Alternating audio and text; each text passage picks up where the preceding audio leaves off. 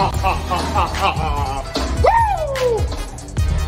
While they sleep, we work.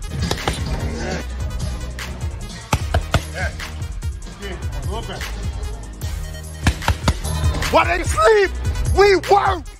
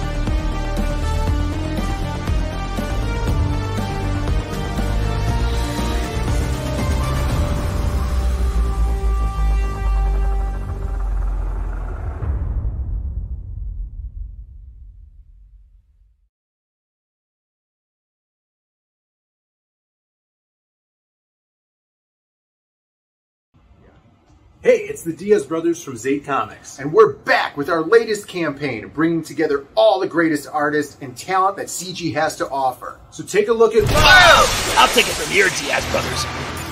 What up, people? It's your boy, Mr. CG. Allow me to be your tour guide on the biggest, bounciest beach party book in CG history CG Vacation! We got bodacious beach spots springing up from the biggest properties in indie comics. Baby, you don't need those guns when you got these guns, you know what I'm saying? Featuring art from the industry's heavy hitters, as well as the best new CG talent. I'm talking Dale Keown, Billy Tucci, Auntie Bear, Shanth Enjeti, Rennie Draws, and many more rubbing ink on hot properties you love, like Pitt, Shi, FirstNet, Sovereign Wolf, Cyberfrog, Shanu, The Lucent, Downcast. I could go on and on. And I will. We got Andy Smith, Kelsey Shannon, PTP, Kaylee, Lil Presty, Monster MD, Rage Tully, Graveyard Shift. Yo, on CG Beach, we even got the weeds covered. Or, uh, uncovered. it's gonna be more than 50 pages of pinup perfection, like Penumbra over here. hey, Mamacita, I was just walking by, and I couldn't help but notice. Holy crap, what the hell is that? We're all gonna die! Uh, Why are you posing right now? So what are you waiting for? Take a little break get away with all your faves. You know you deserve it. Back CG Vacation on Indiegogo today. Later, gang. We got Doll, Robertson, Joe Ball, Sontag, Miriam Diaz, Lawless, Bancroft, Romero, McMahon, Dalton, Casanova. Just too many to mention, dude.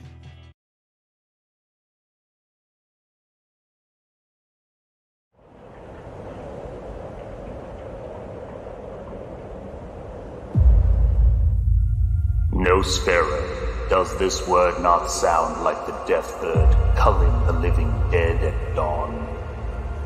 It is the name both ghouls and demons dare not say, for they know it means death for the undead.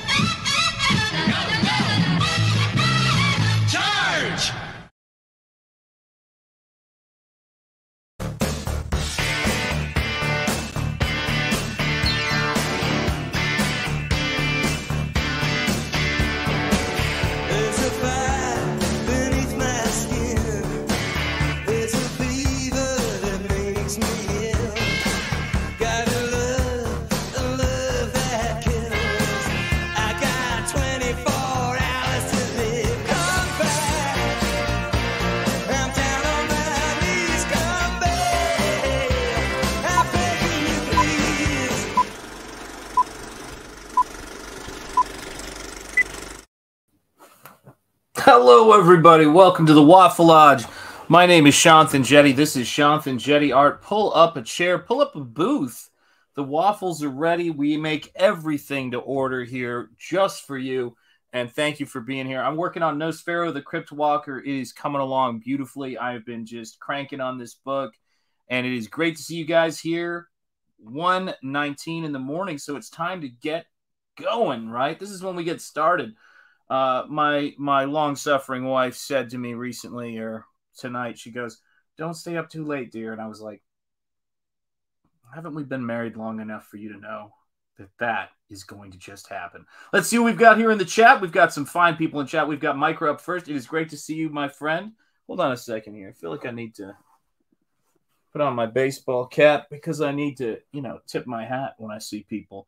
We have got Bretsky the Great salute. Salute indeed. I tip my hat to you, my friend. We've got D Wag, my main man, my can of spam. It's all about money. I'm going to tip my hat to you, brother. It's good to see you. And thank you again for sending me that message the other day.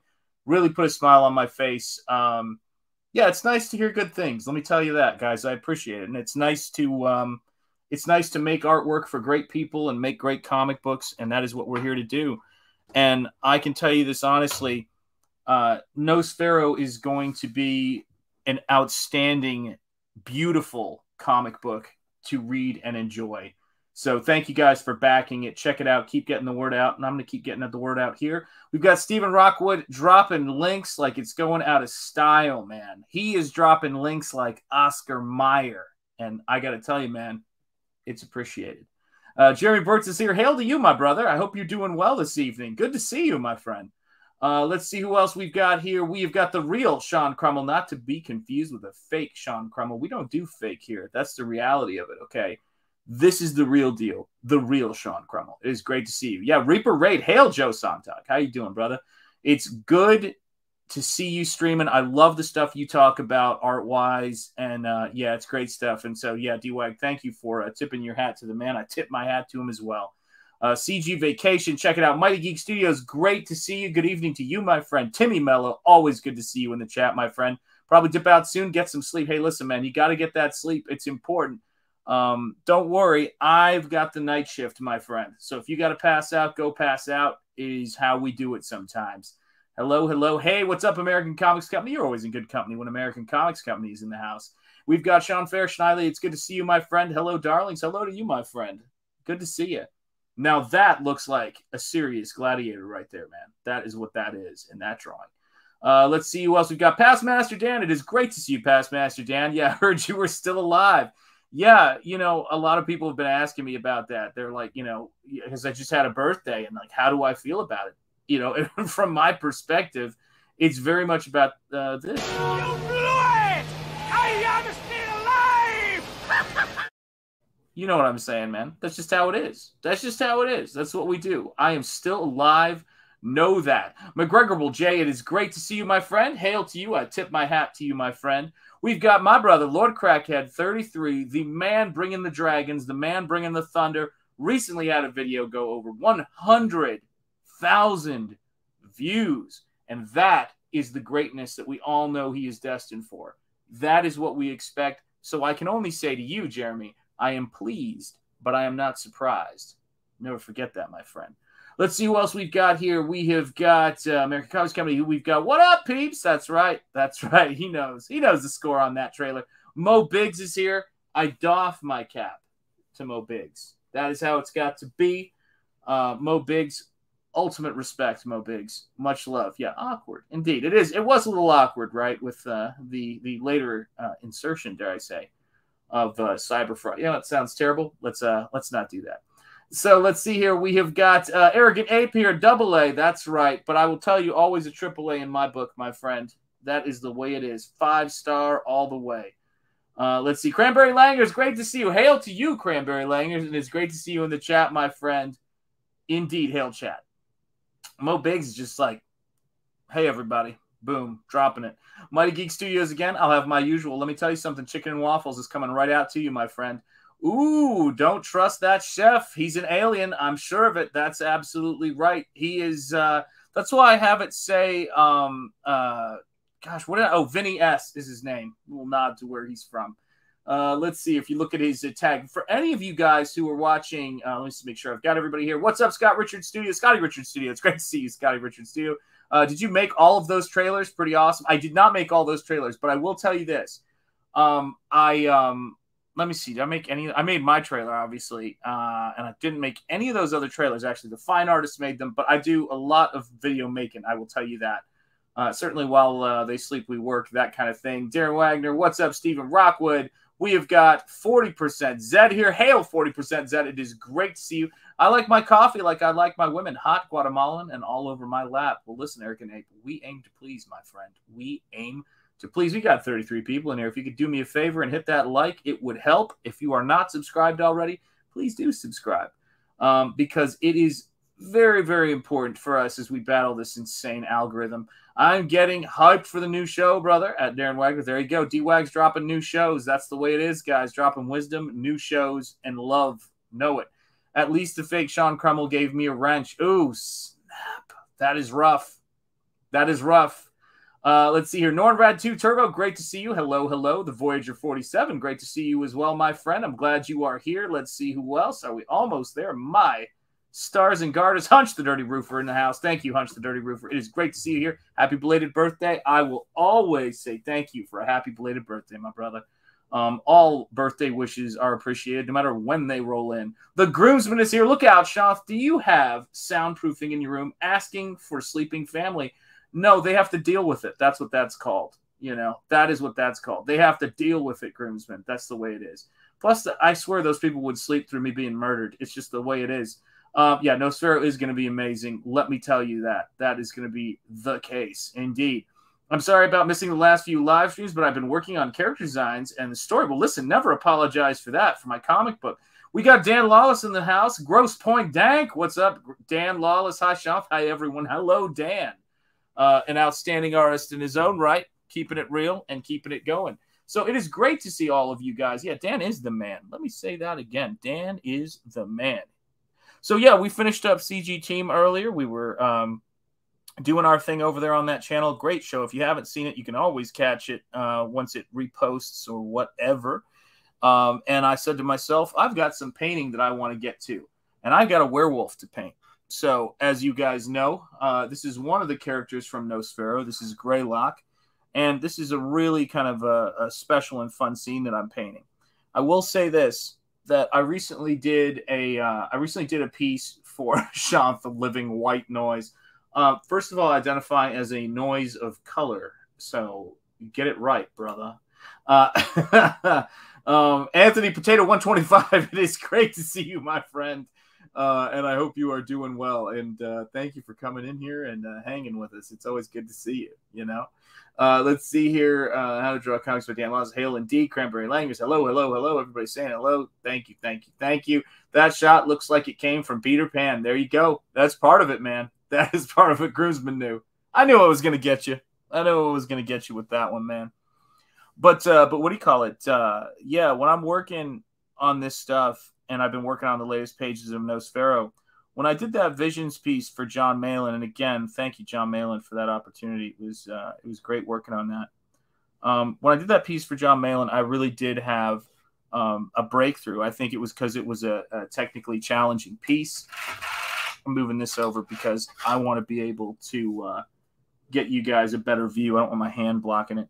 But when I was working on that piece, one of the things that that I realized was that you know it just it was one of those natural things. I had a breakthrough in terms of texture, and when I came back to work on my Nosfero pages, I've been doing a hell of a lot less penciling and kind of just having the confidence to just go in there with the brush, keeping things really, really loose and expressive, um, and then getting that detail in there I want without having to do a ton of erasing. What's great about that is um, it saves time, but it also makes the work just it's so much stronger because um, I don't know, it just has that kind of fluidity that I'm used to getting in my paintings, but has always been a little bit tricky to maintain when you're doing sequential stuff. And that's the key. That's the key. That's what we're after here, man. We want to make we want to make this uh, as Bruce Lee would say, we want this to flow like water, people. And uh, I want this work to be something that stands the test of time. And I think Nosfero Nosfero, what's going to be great about this book is an it's an introduction to a world and it's an introduction uh, to a character, to several characters. But this is, make no mistake, this is a character that is a superhero, that's a pulp character, that's iconically designed, and it's it's a pulp story in broad strokes that I hope will be the first of many stories for this character. So jump on now and do not miss it. Yeah, Sean the living white noise, canceling out the irritating noise of the world. Well, you never know that was cool of Malin to let you uh, stream it. Yeah, absolutely. It was. It was very cool. It was very generous of him to do it because Jon likes to keep things under wrap, and I respect that. You know, I've said this about Jon before. I'll say it again. Jon was the first mainstream artist over the wall in Comicsgate, and I think in that way he is um, one of the most important artists that we have in the indie scene when it comes to Image Comics, I think Rob Liefeld was the first person over the wall there, publishing through Malibu first, then designing the Image Eye. That stuff matters, man. And you know, of course, you know we all know all of the contributions that Ethan has made, and I think there's so many great artists in CG, you know, right now. No pun intended. Also, check out Michael Bancroft uh, CG now. Um, but it's um, Jon has always talked about, you know, how important Comicsgate is and how fragile it is. Good to see you, my friend. Uh, you're gonna like the name of this character, by the way, with this name. Um, just to just to point that out. What's up, Phil? It's great to see you. But Jon was really interested in building something that would last, something that we would be able to, you know, have and build. And is it always going to be the exact same thing? No. Is any company the same thing? As we watch Marvel and DC um, in the death throes of their former selves. I think it's been a long time. It's been a long time coming. But I will say this: is that independent, an independent strategy for how to actually make a living doing comic books is something that we've all been seeking, and there are people who have pointed out and um, and given us examples of how to go about that. And I think Jon is very important in that way. So for him to break protocol on his typical practices was not something that I um, I thought I took lightly, and it was something I really appreciated. And it's the same thing. I mean, you get opportunities to do things every now and again that are um, that you know appreciation goes a long way in making yourself have a better you know time of it, better time of work. You know, yeah, it does indeed. Yo yo, indeed, yeah.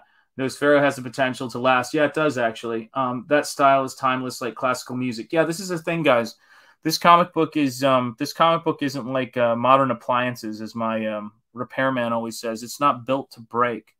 This comic book is built to last, and this is a, a book that I'm looking at to where, um, you know, it's the first book of a character, and it is a, a self-contained story that will continue, but it is a story that is the first story. Like you're not going to get to a cliffhanger at the end of this and go, "Oh, what's going to happen?"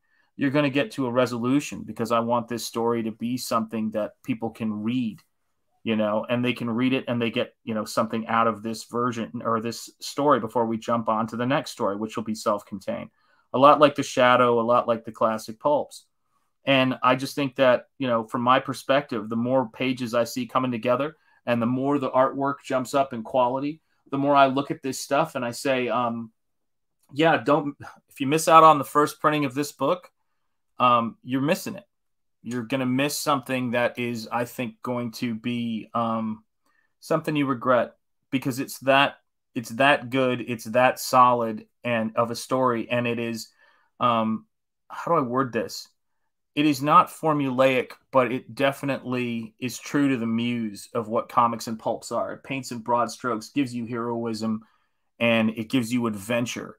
And much like when um, you know George Lucas was creating Indiana Jones and he was looking at Doc's uh, Doc Savage and he was looking at you know um, you know Casablanca. So it was like Fedoras meet Doc Savage.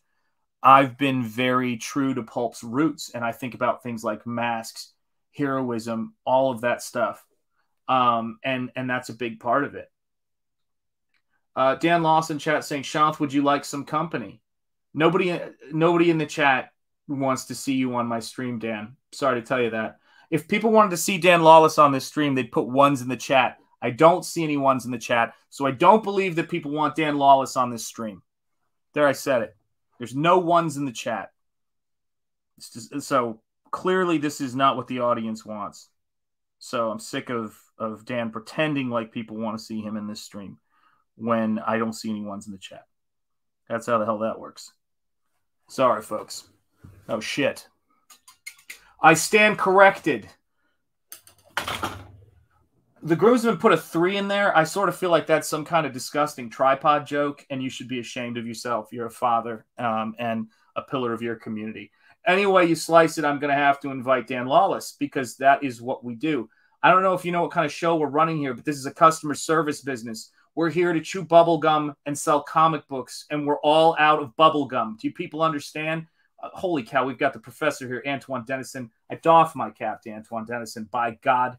And I think it's time for me to send this link to Dan Lawless because this is what we do here in Comicsgate. Do you people understand? Am I coming in loud and clear? I think you can hear me knocking. And I've got me and I've got Dan Lawless. with me. That's what you have to remember, people. That's what you have to remember. It's been, it has been, it has been sent. There it is.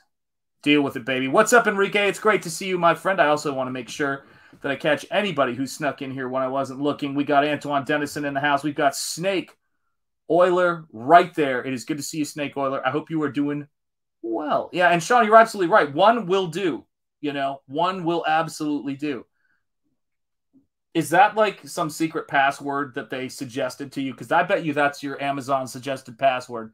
Everybody type in uh, the groomsman at gmail.com to Amazon real quick. Type that in and see if you can buy stuff on his dollar. What's up, Mason W? It is great to see you, my friend.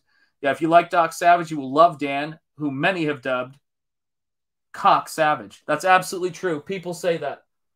Um, you're not the first. You won't be the last. Know that, people. We are in the Dan Lawless business. That's how it is. Uh, I am actually currently launching several Indiegogos of Dan Lawless projects he has not agreed to draw. I've put his name on him. I've put his social security in there. Um, everything. It's it's it's vaguely criminal. I don't know why the hell I would confess to it. You know, on a live stream. Nonetheless, here's Dan Oh. telling me what he thinks about it. What's up, brother? Hey, how you doing, man? I'm doing great, brother. It's good to see you. Yeah, it's good to see you. I just I just got off a, a live stream with you know the players that. Uh, That's absolutely right. You were on there with my brother Gabe, right? that's right. Yeah. Absolutely, man. So that was Yeah, you know, that- that's I love that show. I love it. Uh, it's it's just uh, I look forward to every week. Just I mean, you don't get to talk shop. What you know, it's like so it's a great opportunity. So Yeah, good people, man. Good people. You know, yeah, Gabe. It's, uh, Gabe yeah, has the shame. gift of gab. He does have it, man. Gabe is Gabe is the man.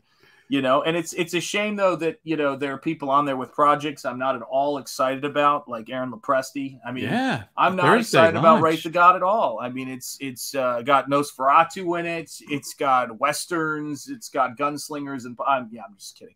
I cannot wait for that project, Aaron. I know. Uh, I love the I first book. really, you know, it's it's it's like sometimes like if a project isn't good, you know, you know, I just don't really say anything.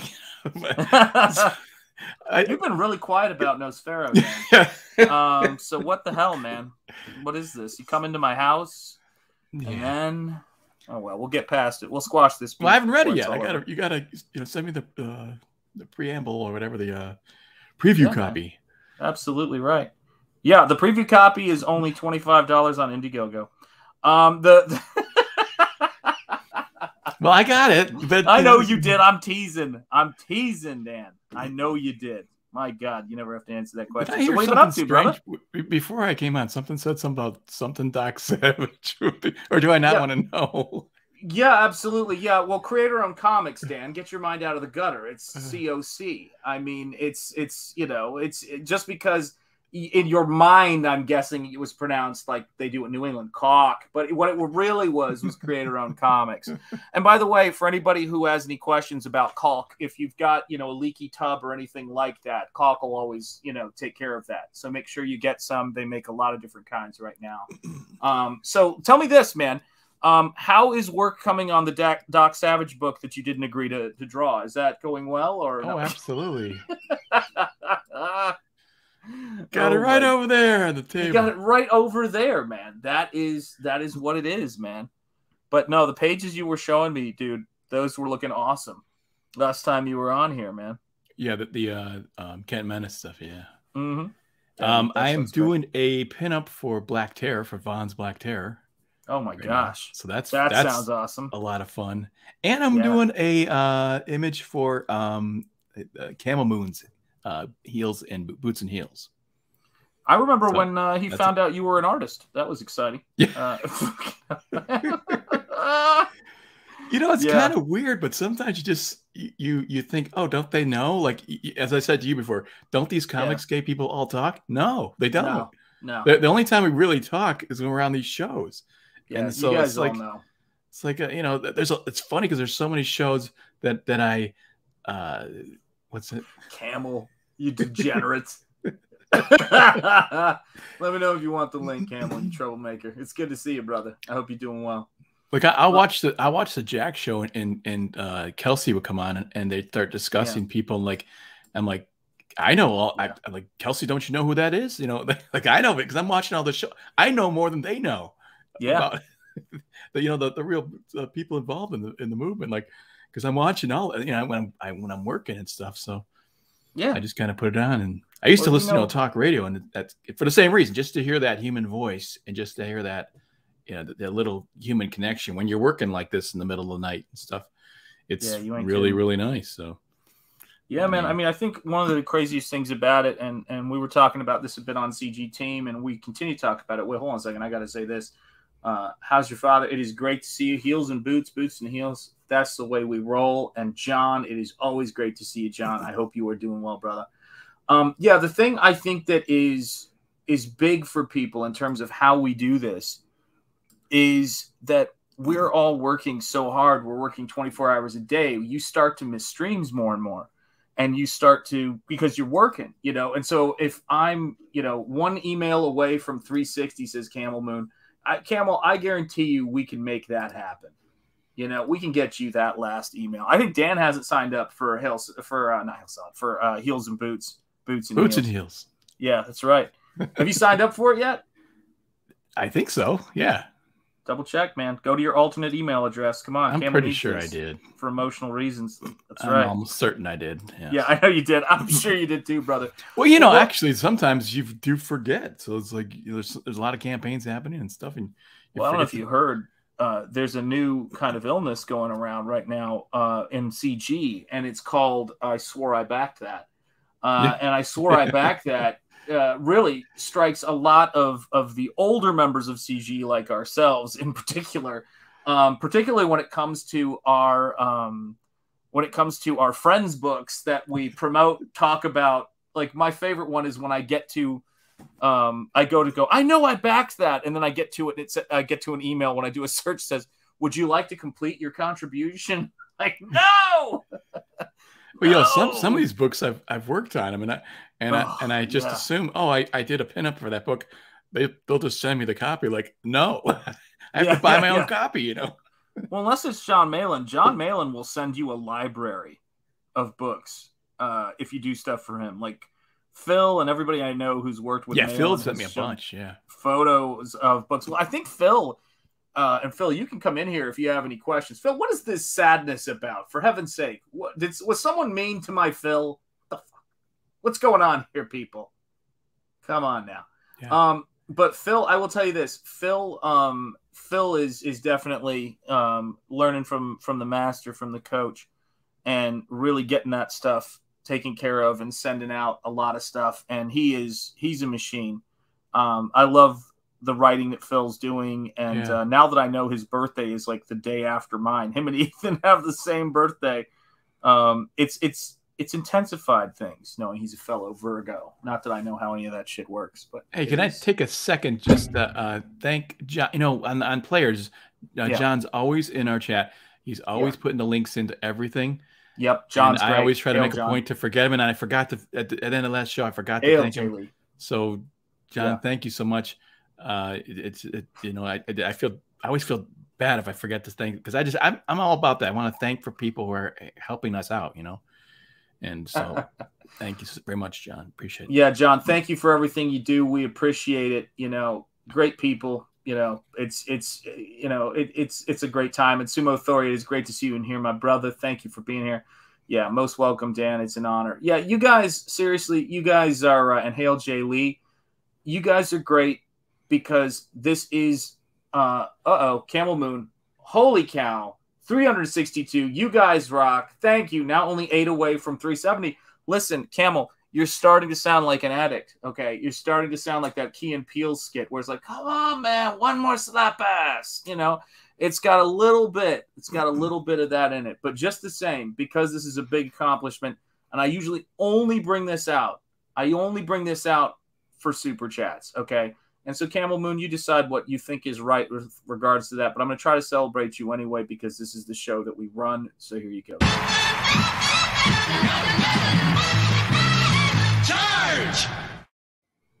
There you go. So yeah, so I mean, it's it is really um yeah, just, just one more hit, says John. you know, it's absolutely right. Uh, Art, good to see you. Uh, last few days um, have rocked with the release of the new book. Congratulations, Jay Lee.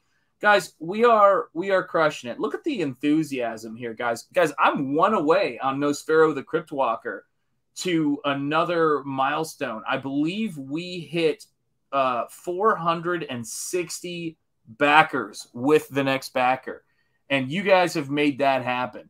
So let's just keep going. Let's just keep What's making this uh, thing. what's Jay bigger. Lee's uh, uh vampire? It's a vampire book, I believe. Yes, he does the Steins, and it's Yeah, just yeah. a great freaking book about monsters and you know classic stuff. I've got it right over there on my shelf with uh, in my horror book section. Funny enough, and I just got the two hardcovers of Clint Stoker's uh, Dracula, so now I've got more books like that. But yeah, we're we're crushing it, guys. Comicsgate is absolutely crushing it right now. And as I don't know if you guys talked about this on the Players Club, but did you hear about the numbers from Penguin Random House? The comic No. book numbers? No. Holy cow. Yeah, so we were looking at a post, um, and apparently they've got a lot of comic books in their titles that they put out every year that are selling um, I think it was selling under or at 12 copies of the book. 12. Who, who- who's who's selling twelve? Penguin Random House and their comic book division. And I couldn't believe That's like to your friends, your first your family and friends. That's- I mean that's, that's not like even going to cover your family and friends. didn't buy it. that's that's how bad it is, man. And I was and we were talking about that how the average Comicsgate book has got more support than that. And like what the hell is going on, man? It is some crazy stuff. Yeah, the good news is everybody in CG is doing 50% of Penguin. Yeah, that's absolutely true. Yeah, when you add us up, we are essentially, you know, as big as the comic divisions at places like Penguin. And that is really alarming because you start to go, well, our theories about, you know, is anyone reading these books are becoming more and more academic at this point. hey, Rippa's book it sold more than DC's whole line of books. It was Rippa. I'm just messing with you. Listen. I, by the way, um, let's let's do uh, let's do one of my favorite movie quotes to describe who Rippa is. Uh, the uh, gentleman who was uh, with Gary Busey in Predator 2 when he when uh, Danny Glover goes, "Who are you, Keyes?" and this guy who was with Gary Busey grabs me goes, "The last person in the world you want to fuck with." I think that Rippa solidified himself uh, to our dear friend Mr. Brooks as the last person you want to fuck with.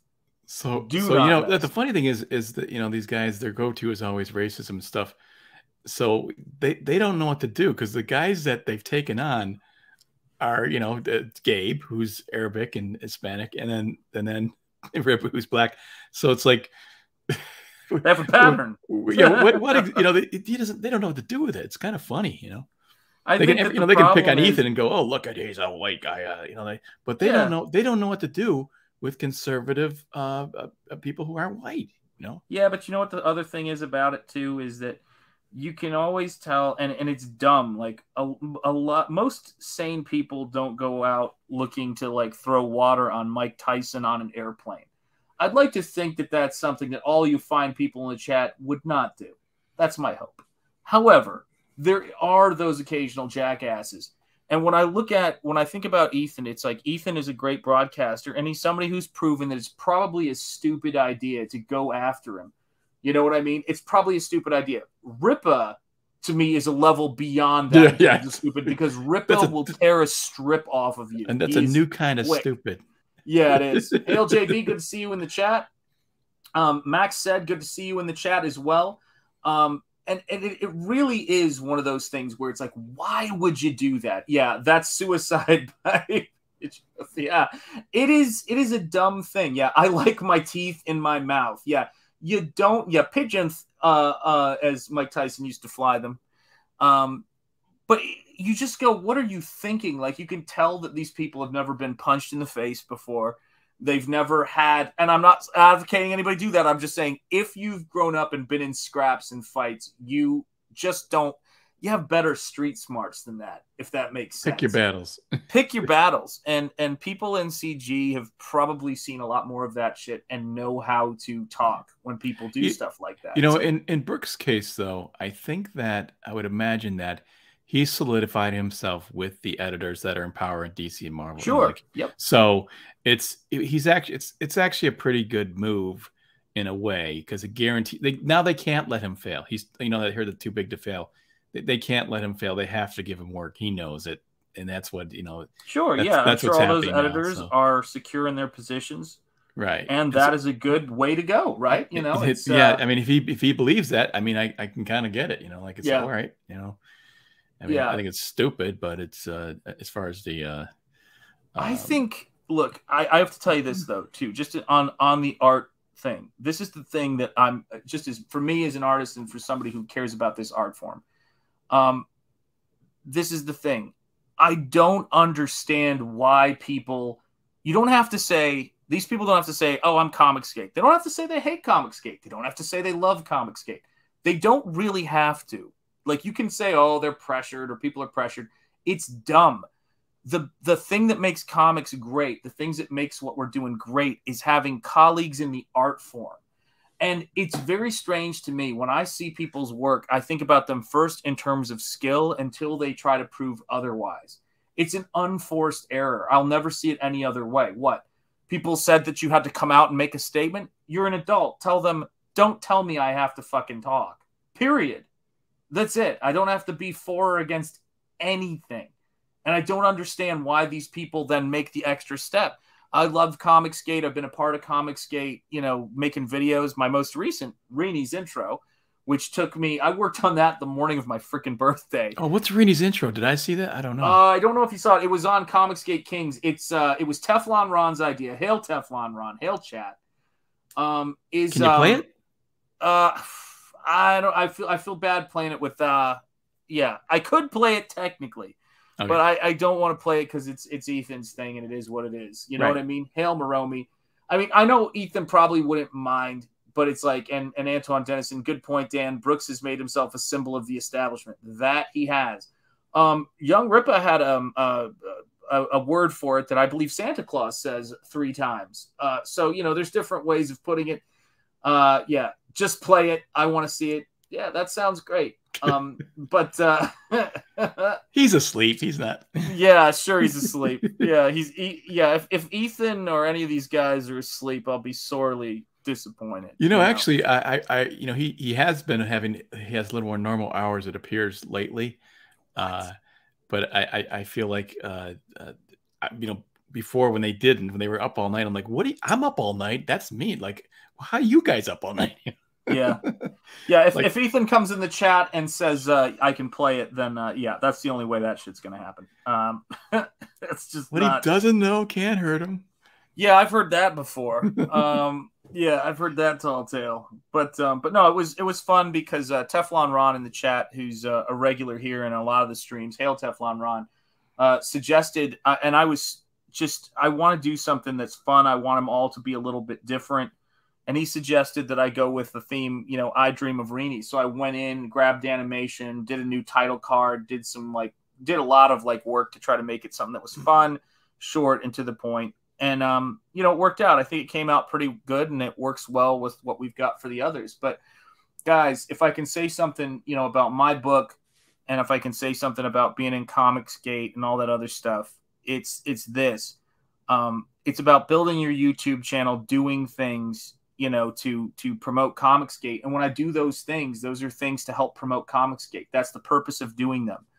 Um, it's about you know giving your you know and no one is required to do anything they don't want to do but i try to give you know my time to helping when i can everybody understands i got to prioritize paid work that makes total sense um you know to everybody no one's ever said to me ethan's never said to me hey can you do this video? I need you to do it right now blah blah. He he just you know he's like hey can you do something? If i can do it i do. But um it's it really is about building this thing. And i i think that um what makes being in cg easy very simple in a lot of senses is you get up in the morning and you say what do i got to do today? I got to make a comic book and i've got to make some youtube videos so that there's stuff out there. You know what I mean? So that we're we're constantly getting in people's faces. People have heard of Comicsgate because so many people before us started talking about it. And I mean in terms of as a publishing entity, as an independent movement. And we're probably the biggest independent movement in comics right now. Everybody knows us. Everybody Yeah. knows we exist as much as it drives Yeah, well, I kind of wonder about that. It, it- uh, the word must have gotten around. I mean, you know, Sure. Well, yeah, certainly in the industry. I mean, you know, there are people who don't know who the hell Stan Lee is, obviously, you know, in this world, right? So yeah, yeah, it's uh it's not like, you know, it's Not it's many, not though. everywhere, not many. you know. I gotta get somebody's thank you, Arrogant Ape. I, I knew I can I know I can always count on you guys to bring that class. Yes, indeed. Reenie's book uh is coming out, and I know Ethan's gonna do a big launch for that as well. Yeah, we Um, we in got the like a chat, bu- Sean, would you uh, uh, you would gatekeep EVS from the panel? Yes, I would. Uh, man, you picked the worst habit of Bancroft to emulate. Yeah, I would absolutely. Ethan knows I would have to gatekeep him. Um, that's the way it is, you know. No, um, Ethan is uh, kind enough to not gatekeep me, so I would not. But I think Ethan is probably drawing if he's remotely, you know, vertical right now. He's probably drawing. You guys know how it is. We just we work, we work, we work. Hey, John, we got we got a lot of stuff launching this week. We got you know we got of course Aaron Lopresti on Thursday with his new Wraith right. of God book, uh, and that looks great. In fact, Yep. you know, of course, I'm coloring part of that. Yep, and, it 'cause looks I great, asked man. you. That's the funny thing is that you know how that Can that, you that assignment came clarify to be. for me though okay so is that a part of the bigger book like Yeah. so it's going to be in one volume yes, or is it going to be two books it's going to be part of the book, I believe. Yeah. oh that's awesome very cool So you know, the- now the- tell people what it is so i can the funny thing up. how how that came to be is we're on the stream and Aaron's showing the black and white stuff, and I'm going, man, but I love the Oh, color of yeah. that. And it's Yeah. kind of like you just said, uh, do you want to go ahead? You know, like you uh, you, you, you serious? I'm like, yeah. So it was, it was a kind of a weird assignment where I, I I got it because I just wanted it, and I like I want I, I wanted to actually to, to color it. Like it, it looks like it's just a Yeah. blast. So yeah absolutely i totally can see that man and thank you for dropping the links john you're always Then- crushing it man then the core Yeah, draft is happening. Uh, I think yeah I forget, maybe Monday or I, I forgot when it's when that's popping in, or maybe it's I don't know, maybe it's sooner than that. I forget now which day. yeah Reenie's on Saturday, so uh, yeah we got we got three three coming in. yeah for- it's gonna be it's gonna be a big it's gonna be a big week and there's i will say this too guys i know you know what it like you guys have to pick the stuff that you do um in terms of of work and all of that other kind of stuff is that when you think about all of this stuff and you think about like how many different projects are coming out there's something for everybody you know there's something for everybody to do this sort of stuff. And you can just kind of like you can see if you like Wraith of God, if you like Fiendish, and you have to say, okay, this the campaigns are going to run for a while, and there's stuff for people to see. Hey, Sean, did you have you been following my Instagram? Did you see that that uh, Solomon Kane image I did? Uh, no, I didn't. Oh, I'm just waiting want- for Doc Savage, but uh, would you like to call it up and share it? I sure as will. I love Sure, this. sure, shitting will. Yeah. Uh, let me see here. Uh, da- da- da. Oh, the intro. Oh, the intro's on Kings at 117.29. There you go. Excellent. Sorry, let me see if I can share this here. Here you go, gang. Take a look here. Solomon Kane in the house. Boom. Yeah, although it could kind of, you know, could be Dracula, it could, could be a, a lot of things. But actually, I did I did this image years ago, but I, I just redid it not just recently, just for fun. Nice, man. But uh, I dig it. simple shapes, and all the focus is on the head. You know, it's like that's Dude, it. yeah. Co- It's a- got it's a, slap of color in brandywine the head. kind of quality to it, too. I love that. less you know? less is more. You know. Yeah, that I love the um I love Howard Pyle. I love the whole Brandywine tradition and like the way that the light would hit like one figure. They just did some beautiful stuff. Yeah. Solomon Kang. Yeah. Fat rat. That's a good one. Uh, oh, Dan, when are you going to draw the shadow? See, look, Phil and I are never satisfied. Like, what is, honest to God, just unloving, uncaring people. Mortal By the way, V this this this in on the character here days. may or may not be the my barbarian character I've been working on lately. Yeah, that's right. I, So, I'm uh, actually I'm, I'm developing it sort of. I'm doing some uh, you know. But I tell you what, this is this is going to be the look of that. You know that kind of. Yeah, absolutely. Dude, let me tell you something right now. All right, we need we need these pages, man. We need these pages. Yeah, just start. Let's start working on studies. Some These are these are studies. You know. Just let's start working on some thumbnails for it. What's on page one? Let's go. Let's do this thing. Well, I say the story's written. It's just uh, I- just got to you know to illustrate it. That's about I know. it. I'm saying let's do it right now. Let's go. Oh, I mean, start drawing it. Yes. like what the fuck, man? Let's do this. I Shoot, man. I don't. This is Grosse Pointe Woods. This is old school, Dan. Do Creativity just Mr. doesn't. You can't just turn it on and off. You know. Yes, you can. You absolutely can. Do you have any idea how many people I've turned off in my life? So listen. yeah, yeah, yeah. Dan's It's, just, flawless, it's easy to turn right? off and it is turn on, right? It's. What's up, Siege Fearless? Yeah, absolutely. Well, listen, the truth is somewhere in Oh between. no. Um, but let's come on. Yeah, Zaid Comics is like golden helmet. Phil, what do you think? Should we start having Dan Lawless draw the page? Come on, layouts. Let's do this thing, man. Come on. Sean, did you did you see this uh Rings of Power thing? No, I haven't, but let's talk about that page. Uh, listen, listen, it ain't called show friends; it's called show business. Let's get let's get drawn, man. Just do let's do that layout. Let's go. Nobody has to see it. There's nobody here but us, Dan, and 42 people in the chat. You got it. You've drawn so many. I, I'm I'm I'm completely comfortable with drawing. I am not comfortable with you know putting my story out there yet. Don't put your story out there. Just draw. We're not gonna know what it is anyway, man. Yeah. It's just, just, just, just draw. just, just work on the page. Nobody has to see. You don't even have to talk about it. Dan. It's not going to be digital. That's the thing, though. It's, I got to get I got to get over here on the big giant drawing table. I got to get back over there. So We gotta get your camera set up over there, man. We gotta get you a camera. What kind of camera rig do you got? what I'm I'm working through my iPhone right here, which is quite nice actually. Oh, dude, yeah, I love the iPhone, but I gotta get you just like thinking about those layouts. Let's get those creative juices going, Dan. Let's put it together, man. You know, let's let's do it. Let's get that page mm-hmm. happening. The, remember the you know this, man. But well, Use so have you ever done a creator on book before? No. Oh So yeah. What am I thinking? Yeah, I did. I did, but it, I love but you but it was like- so it was it was I didn't even think. I mean, I I almost like detached myself from the whole experience because it was back in like 2007 or something. This is Yeah. all pre, you know, Comicsgate, all that stuff. And I I had been out of the business for a, a number of years, and I just had it. So I created a yeah. Yeah. pretty conservative version of a com, which is exactly what you don't want to do. That's you know the, the biggest mistake. Oh, I remember lot the, of you people, told we've talked about this. Yeah, the, the biggest mistake you make is is is you know you're coming out off of this you know super agenda kind of stuff, and then you say, "Oh, I'm going to put my agenda into it now." No, nobody wants to hear anybody's agenda. They just want to have fun, you know. So I learned the hard way that that was the case because people weren't interested in it. So Do you do just- your layouts in digital or traditional? I can do both, but I actually I, I'm kind of like to do digital uh, to to do layout, and then I blow it, I, I print it out and blow it up and trace it and, and work on it. Then you know that's kind of the Oh, way. sweet! So you can start your layouts now on the computer. That's Yeah, awesome. I could, I So could let's actually. go. That's true. Let's fucking do this. Uh, seriously, Dan, listen. Um, I I will tell you this. You you saw earlier in my stream, man, and An- Antoine Dennison says, Dan, is that a homemade light box sitting on your drafting table? It is. Right there?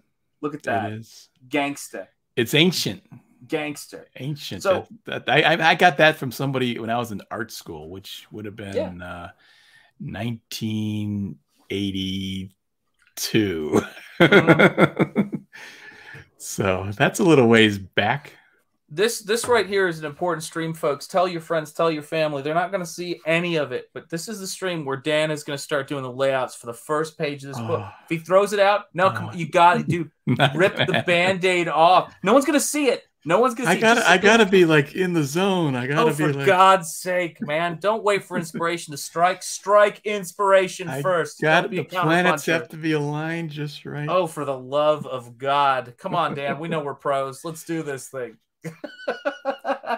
Just hack it, hack it out like Krusty Krab. You ever see when he comes in? Yeah, no one's gonna see it anyway. You should Or, see I mean, Dan. with no. Krusty Clown, it was Krusty Clown. Yeah, but listen, Dan, I want you to understand something here. You seem like a good person, and I mean that sincerely, because you're actually telling. I seem me, like a good person. yeah, you're actually telling me right now, going, I don't know if I could do this. You could be, since I said no one's gonna see it, right? And you don't have to show it. You could be sitting there just moving your shoulder and saying, "I'm doing it, Jonathan." No one's gonna be any the wiser, man. You know what I mean? You'd be like, "It's a masterpiece." My God, it's incredible. I can't find my pen.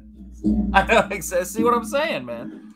It's a sweet. This the best way ever. You're here Oh, with these great people. We've got 40 people in the chat right now, and they're they're seeing you, somebody whom, rightly or wrongly, possibly both, as they said in that old, uh, you know, Dudley Moore, Peter Cook skit, um, that this is the the tying to that that golden age of illustration that's been carried on by the Sterankos of this world, passed on to us. We get together. This is our bullpen, and we draw, and we draw in the light and inspiration of the support of these amazing people who have almost gotten Nosfero, you know, to uh, to 30k, and as they said on uh, on Yellowstone, you know, almost is tough to measure because almost doesn't count.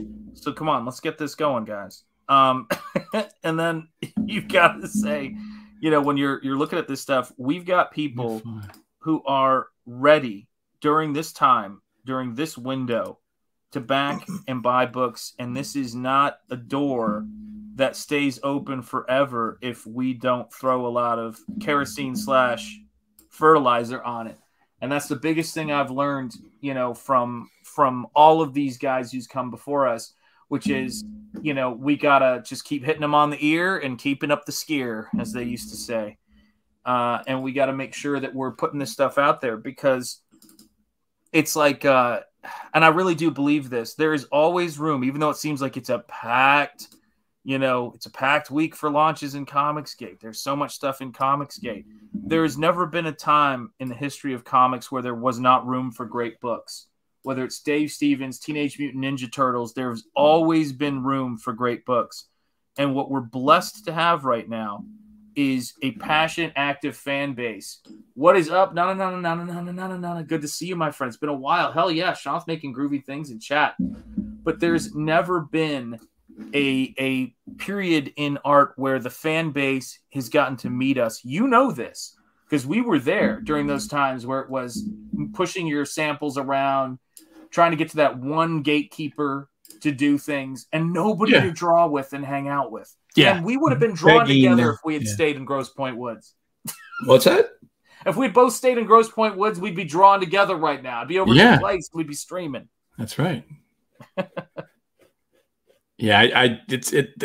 I didn't think about it back then, but you know, it, it's it is really tough. You you you you know that that editor could like not like you for any number of reasons, you know. Yep. And and since there's so many people wanting to do this now, it's I don't know why, but they do. But uh, it, it, it's just one, you know, give it the bad look. Maybe they had a bad day. They you, you spilled Yeah. their coffee or something accidentally. You know, that's it. You know.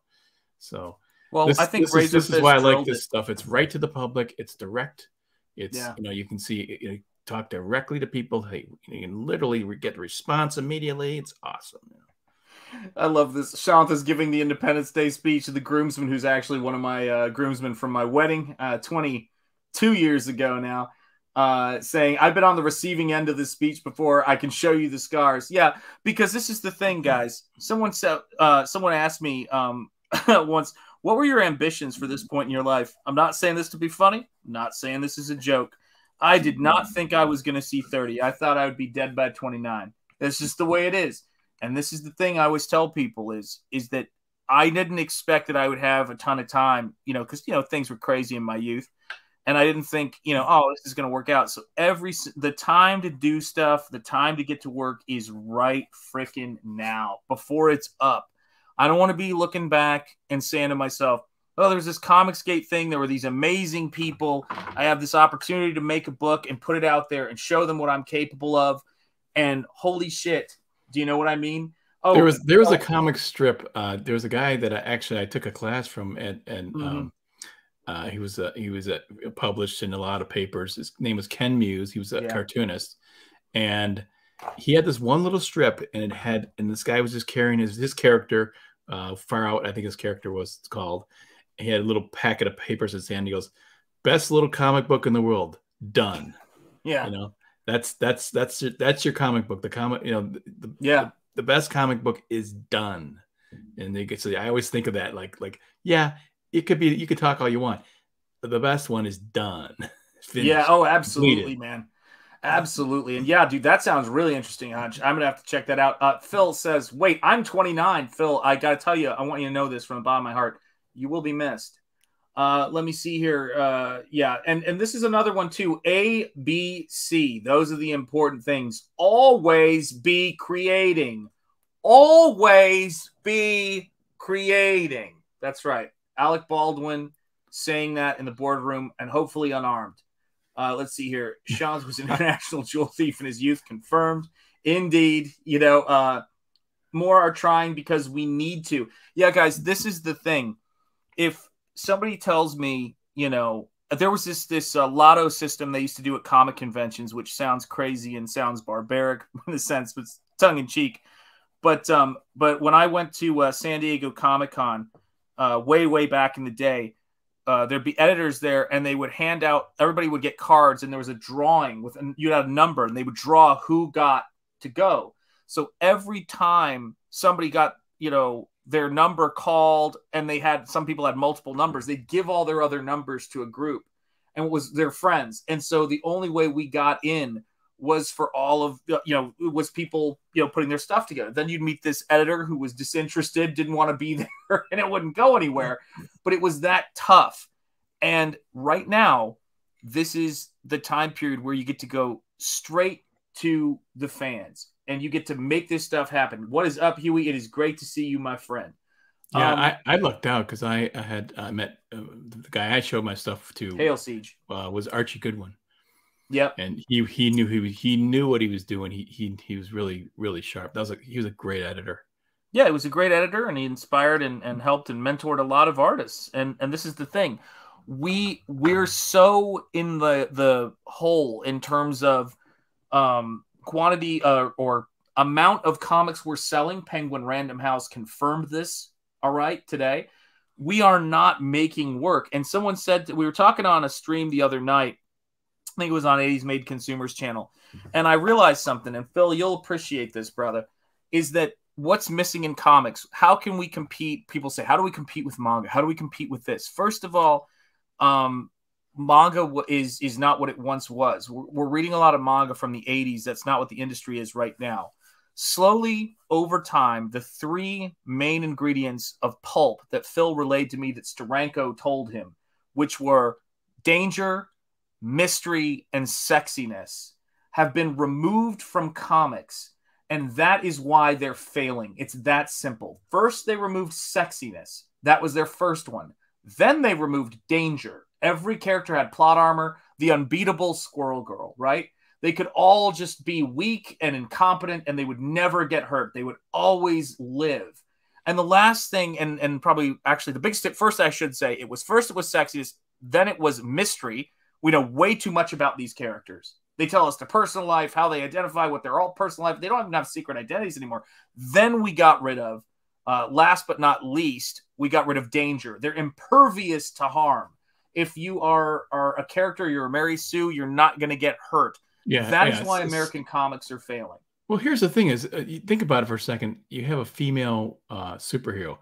Yep. Can you show her getting beat up? Not really. You know. You can't even show I her. mean, I um, mean, being I'm, I- I'm saying is, I'm saying just aesthetically, it's so unpleasant to see a, a woman getting beaten, you know, up. So it, it's you, you can't really show it just because you don't want to. You know, you do it doesn't work in a story, you know. So obviously, I don't know, man.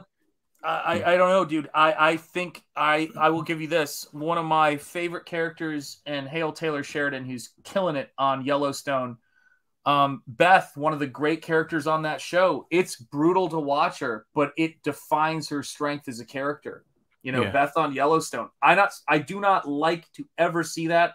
It makes my my skin crawl Yeah. a bit. However, it's a part of life that if written well, it can be meaningful. Yeah, but I'm what I saying mean? this is a, this is a kid's medium still, or you know, or a lot of kids read them. You can't really. Have you read manga? yeah, yeah. You may you may want to rethink what kids are kids are seeing there. And Yeah. I will tell you this. Um, Yeah, maybe I'm just out of touch. I'm just old. But- let's go back to the older comics though too, man. I'm not, you know, it's if we go back there where Batman was, you know, carrying guns, you know, or the Shadow Yeah. or all those books. Uh, okay, let's go to the Bible. Uh, you know, let's Like these are the important Yeah. stories that I- I'm just talking about like like in this environment, especially the political environment, to have a woman getting beaten up is is not you know is not going to happen. Not that it should, but I'm just saying they they they're going to be very protective. That's why you're saying the girls are like super powered, impervious. Sure, they of can't course. really be harmed because if they were, they would say violence against women kind of thing, you know. So really, what it comes down to, they really shouldn't be there in the first place. Really. Well, But, I uh, think this is, but this is the biggest thing about it, though, right? This this is a big thing where we, I don't have a particular story where that is something I want to paint or draw personally, but I just have to say this too, and and this is an important thing. Um, I saw, um, actually, I guess it happened off screen, but I did see Vasquez get acid on her leg in Aliens, one of those great characters. Uh, Ferro was off camera, blood hitting the windshield and the arm moving. Um, you know, you see these movies, and I got to be honest, when I was seeing those, I was a, a kid, right? I don't know if Sue, how much peril Sue Richards has been in, but I imagine she's she's taken a hit before. You know what I mean? And the battle, just like the guys have. I mean, we're Right, talking about right, world-ending stories. Yeah. And so I guess this is the thing I would say. Put all that stuff aside. Sexiness, danger, and mystery. You don't have to show violence to show danger. Look at my piece for um for uh CG Vacation, available now. Phil Diaz in the chat. Hail Phil. Um, do you get what I'm saying? Like you can do mystery, danger, and sexiness without any of that stuff. That's what Frazetta did. And I don't think you ever see a black eye or a bruise or anything on a woman. You know, it's not it's not my bag. Right, I, right, that's right. not something I want to particularly see. But you do see women on an altar and Conan riding to the rescue. Yes. You do see those kinds of things. Yeah, but you don't see her get, you know, you don't. He rescues her. That's the point, you know. So, Yeah. So but I mean, none of that horrible stuff occurs. Yeah. do you remember when uh, Superman took a beating in The Dark Knight Returns? Uh, yeah, yeah, absolutely. I mean, I had sure. never seen Superman bleeding from his mouth with Right, black right. eyes getting the shit. I mean, you don't usually see that anyway in a lot of those stories. But however, for us, in terms of our stories, if we don't want to do it, we don't have to do it. Yeah, I'm reading the reissue of Fist of the North Star, Hail Norn. I just want to let you know I saw that. Um, very important. But I would say this is that there ha- if there isn't a sense of danger, regardless of whether it comes to pass in a story, we've given up one of the biggest things that we have in Extinction Agenda. I was frightened for all of those characters. You know what I mean? Like, what's going to happen with them? You know, all, there were so many uh, great story. God, Barbara Gordon in The Killing Joke. Yeah, she took a beating there. But see, Uh, I, I thought that was was a, rough. that, was unpleasant to look to It was that, you know? incredibly unpleasant. Yeah. Yeah. But I would say this though is that before you can get to that point where Alan Moore could come in and and and I love Brian Bolland's work, so let's put that to one side. I thought that was a bit brutal for that world, but that's post Watchmen. We've covered that in previous streams. But this is the thing. The entire period before that, the heavy stuff that happens in the shadow, the heavy stuff. What's up, uh, Aether Line? It's good to see you, my friend. I hope you are doing well. Um, yeah, I don't think you need to show women literally getting beaten up to show they're in danger. Uh, absolutely, Absolutely we're on the same page. And frankly, as I've told you guys, I I've read manga where that is not the case, and I find it tough to look at. Got to be honest with you, but I'm as an You know, American, as in the somebody end, who we're- believes we're in freedom selling- of speech. I mean, in the you end, we're gotta selling, make your art. In the end, we're selling fantasy, and We it's are. like the- the- in the in the real world. I guess what little, little children are harmed, but I don't. I don't want to see a story where little That's children right. are harmed. You know, so you don't want to read Spawn number five, nor do I want to write it. is that But is that what happens? Oh my lord, dude. Yes. But this is the thing. I'm glad that if somebody look, and first of all, if someone wants to write that, walk that tightrope and try to tell a story without being grotesque, you know, good luck. I mean, go for it. I don't think that's a thing. Yeah, But I even even this. even implied, like like when- when uh, the, the new Star Wars movie, when Anakin goes into those, the, Hell those yeah, little- man. I mean, he, they didn't even show anything in that. Till still, I thought it was too. I was over the top. You know, too far as far as I'm concerned. Well, let me say this though, too, though, man. And this is this is the other thing, right? Is that what young Rippa said in response to a person um, we may all know that I thought was quite brilliant is you got he's putting his nuts out on the table. So ultimately, what we say about what this book does or what that book does, The difference between us and what we're, you know, what we're trying to do and what other people are trying to do is we're putting our nuts on the table. So the Dan Lawless book that has to be sec have have sexiness, mystery, and danger. If you were to go by that, right? Um, that's all that matters. Can you make it work on your book? And that is why so many people freeze up or don't do it, and why CGers we do it. We've got the backing of our fans, but it is like when you view it. When I think about things in those three terms, it gives me instant clarity. Uh, Zayd Comics Phil is saying Killing Joke was unpleasant, but is a bestseller and solidified in infamy, infamy as a top comic tale. Yeah, you're right. It is a great comic, that's for sure. Yeah, gosh, his drawings are beautiful. American Comics Company. If you were to tell the story of Ted Bundy, oh man, uh, naturally to um, story of a couple of survivors is a catalyst of the story. Yeah, I mean, and you think um, like Texas Chainsaw Massacre, bit of a rough flick, you know, not, but could it exist as a comic? It could in a robust industry. Would it be something everybody buys? No, but we have gotten so narrow in terms of what we do. But here's the funny thing: manga books have all have gotten just as narrow as our as our stuff has. Everybody's a prepubescent, stretched out person. It's like kids running around having fun in a lot more instances, not the 80s stuff, but the recent stuff. This is a very you don't see people who you know who's um whose balls have dropped. You don't see people who have hard edges. You don't see Frazetta Conan characters. You don't see Fist of the North Star level stuff as often. Even in Attack on Titan, you've got a bunch of kids, and the only time you see aged people, they're these big, you know, well, they're side characters, but these big, derpy, naked, elderly people, like this fear of old age breaking in almost metaphorically. And I laugh at it and I go, where are the Obi Wan Kenobis? Where are the Dumbledores? Where are the Gandalfs? Where are the characters that are older? Look at that Rings of Power. It's a bunch of freaking people who look like our comic book characters. Everybody's been belt sanded. That's the problem. You know, Yeah, where's but I- Aragorn that looks like he needs a shave? Did you say you saw it or you didn't see it? I, di- I just saw the Razor Fist commercial with the Days of Our Lives heads moving past oh, me, Really? and my food came up through my nose. Yeah. You know, hell yeah. well, I saw it. You know, I, it, I mean, it- it's it's a story. It's it's not the Lord of the Rings though. Yeah. If you if you know the characters, Elrond is not the Elrond you know. Yep. It's a different Amen. Elrond. It's somebody else. It's like somebody just took a took their story and slapped the Lord of the Rings name on it.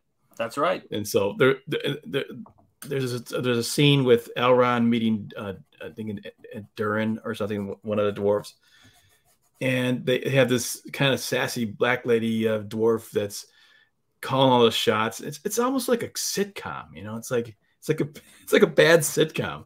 So I was just like, ooh, that was that wasn't so good. But there, what you are know, comics like you know again this is the thing though right and this is this is guys when you guys are looking at nosfero when you're looking at wraith of god again another book i am not interested in getting that i will not be backing on the first day except for i will be backing wraith of god on the first day uh, because i love aaron lopresti you beautiful bald maniac um, who I, I see as again i see him as brando in apocalypse now that was my vision deal with it um, but I I look at this stuff and I, I I think about this kind of thing, and it's the question is what we got to do is nut up or shut up. We can talk about the book that we would do. That's the terror of Comicsgate in the best sense. We can talk about the book we would do.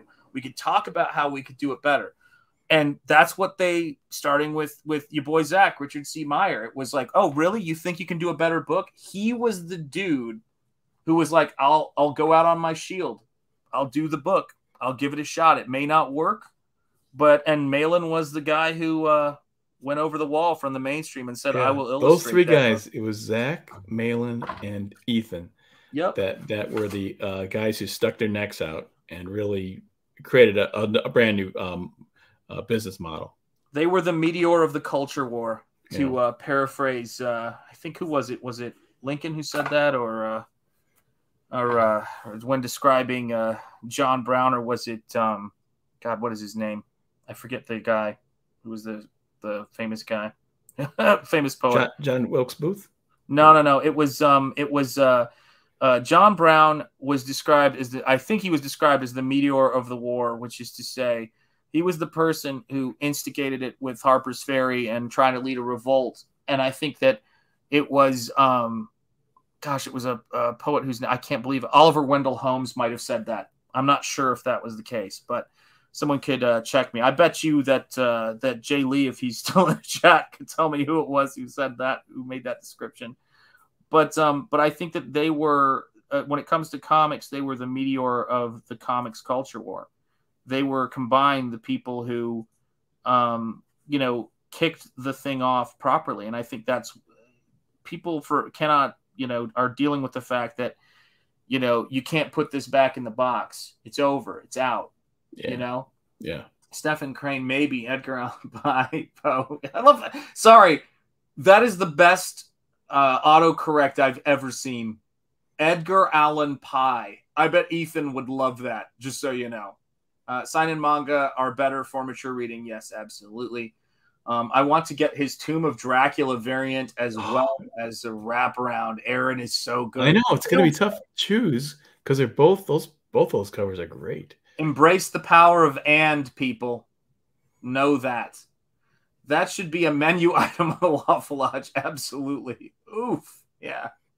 Now, oh uh, my god. now, Shanta, did you uh, watch the She-Hulk? No, are you kidding, man? I'd rather chew broken glass. So I've seen I've seen it. I've seen you know, For here's the the, thing is God. I would say it is so completely stupid, but I sort of liked it. it's Oh, kind for of heaven's weird. sake. And I think it's because uh, you know, She-Hulk almost is meant to be a feminist character. You know, like it's kind of Mm. if if there's any character that was that kind of like you would imagine would be a feminist character, kind of would be the She-Hulk, you know. But uh, so I don't know. It's it's it's so it's it's just so stupid, but it's funny. It's kind of fun, you know. Dan, let me talk to you about stupid and fun real quick, okay? Yeah. I was wa- rewatching for the thousandth time The Mummy with Peter Cushing and Christopher Lee. Now that is stupid and fun. Oh, sorry. I was asking um Jay Lee, who was the person in the Civil War who uh, coined the phrase that I believe it was John Brown was the meteor of the war? Who who was that?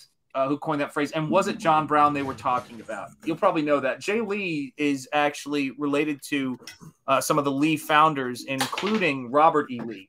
Uh, so, little known fact about our man Jay Lee, for those of you in the chat who don't know. Uh, Dan needs to watch less She Hulk and draw more Shadow. Uh, agreed, but I want to see him draw his own book and start pitching it. That's what I want, man. Um, I need it because, um, Dan, I don't know how much time I have left, okay? So, I need to see this book, Oh. you know, life wise. like, you know what I mean? Like, um i don't want my kids crying and my wife to go is dan lawless here at my funeral and say you broke his heart before he died you know look you can go you know conscience is a weird thing you know how it can affect you over time. So just consider that dan. Oh my gosh, I get a guilt trip every time I come on the show. yep that's true. Uh, what do you want Doc do? Savage is I got hammered with Doc Savage. Now my own comic book.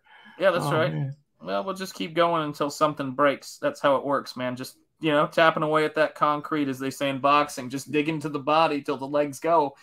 All right, how about how about a, a uh, never so- foreseen by anybody but me and Vaughn a sketch of the the Black Terror? Uh, that's kind of cool, but no, I want to see. I want you to You work on are- the layouts for the book. You are you strike a hard bargain here, man. I do, man. Yeah, some people are assholes, Dan. I'm the whole ass. That's just how that works. it's all I know, Dan. It's all I know. You know why? Because this is the thing for me, man. I, you don't have to show the damn layout page, but I want you on it because I need like the whole reason I'm doing freaking Nosfero, man, is because uh, what do you call it? Is because you know the people were saying this, and I thought whether it's you know could be 100% certifiably true or not, they were saying CG is not big enough to be an industry. It needs more books. Some are going to work, some are not going to work. But we've got to be working. We've got to be producing stuff because this little thing that we are creating, it has it will grow or it will die. Those are its only two options. It's going to get bigger and move forward or it's going to fucking die. Oh, here we go. Uh, John Brown was known as the meteor of the war, so I was correct on that one. Um, let me see here. Uh, Sean is like a cattle prod to your privates for motivation. Yeah, that's true. Well, I did. I did come up uh, vaguely Asian, so you know, it was kind of like you tell your parents, "I got into this prestigious art school." The response is, "What kind of doctor can you be from there?" so there you have it, kids. Uh, yeah, that sounds like a T-shirt. Sean, uh, no, as well, he could be a proctologist. Shit. Uh, it was Herman Melville who coined and wrote about it first. Thank you, Jay Lee. Speaking of Melville, I'm right near uh, New Bedford, Mass. I'm right near the land of Melville. Um, actually, not New Bedford. I'm sorry. Um, holy shit, I can't believe I'm getting this wrong. Fall River. Sorry, no, not Fall River. It is New Bedford. New Bedford, Whaling, of course. You're such. Sean, Uh, I think- you're I an Asian, not a. Oh, did you hear this? Here's my brother, my other Asian brother. You're an Asian, not a Bijan. Grade wise, one of the all time great parent insults. Freaking beautiful. Shit. Oh my god, yeah. It's a glorious thing. Oh my lord. Yeah, why not A is one of the greatest statements ever made by a parent, man. It's rough. Uh, Jay Lee, now I'm related to actor Christopher Lee and um and Confederate General Robert E. Lee. That is correct. Yes, sir. Uh, let's see. Why didn't you go uh, to Boston Fan Expo uh, to meet B- uh, Bisley? Because it was outside, Phil, uh, and I don't leave my house. I paint. Uh, that's what it's about, man. Sorry, little deep cuts right now. That's right. You guys are killing me, man. Because this is the thing, right? And I do, I will go to a convention at some point. I forget what was going on that weekend, but I think it was family stuff. Um, but here's the deal, guys. Well, they can go back through my YouTube channel and, and find out like that I was sitting here on stream eating a bag of Cheetos. I mean, that's always possible too. Um, but this is the thing, right? The the drawing together thing in terms of people and artists is something I really miss. You know, we only got to hear, at least I could say this, I only got to hear the tales of the bullpen. Everybody was freelance and FedExing it, you know, by the time I was came free, around. I was I was FedEx guy. Yeah. Never, never was in there. That would have made a big difference in my comic book career if I had been in there talking to people. I, I know it. You know, it just Yeah.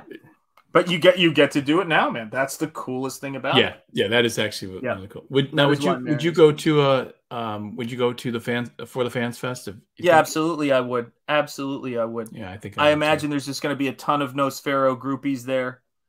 Uh, I'm going to point them out to my wife and say, "Look at this, look at this," and she's going to be like, "You're into those guys," you know. And then it's you know then it all falls apart. But the point is, um, I think there are going to be some fans down there who would buy me a country fried steak somewhere, wherever it is, and that is my hope that someone will bring me sawmill gravy.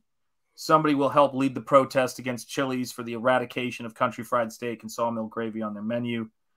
Um, but if not, I'll find a place wherever the For the Fans Fest is. And yeah, I'd absolutely go there.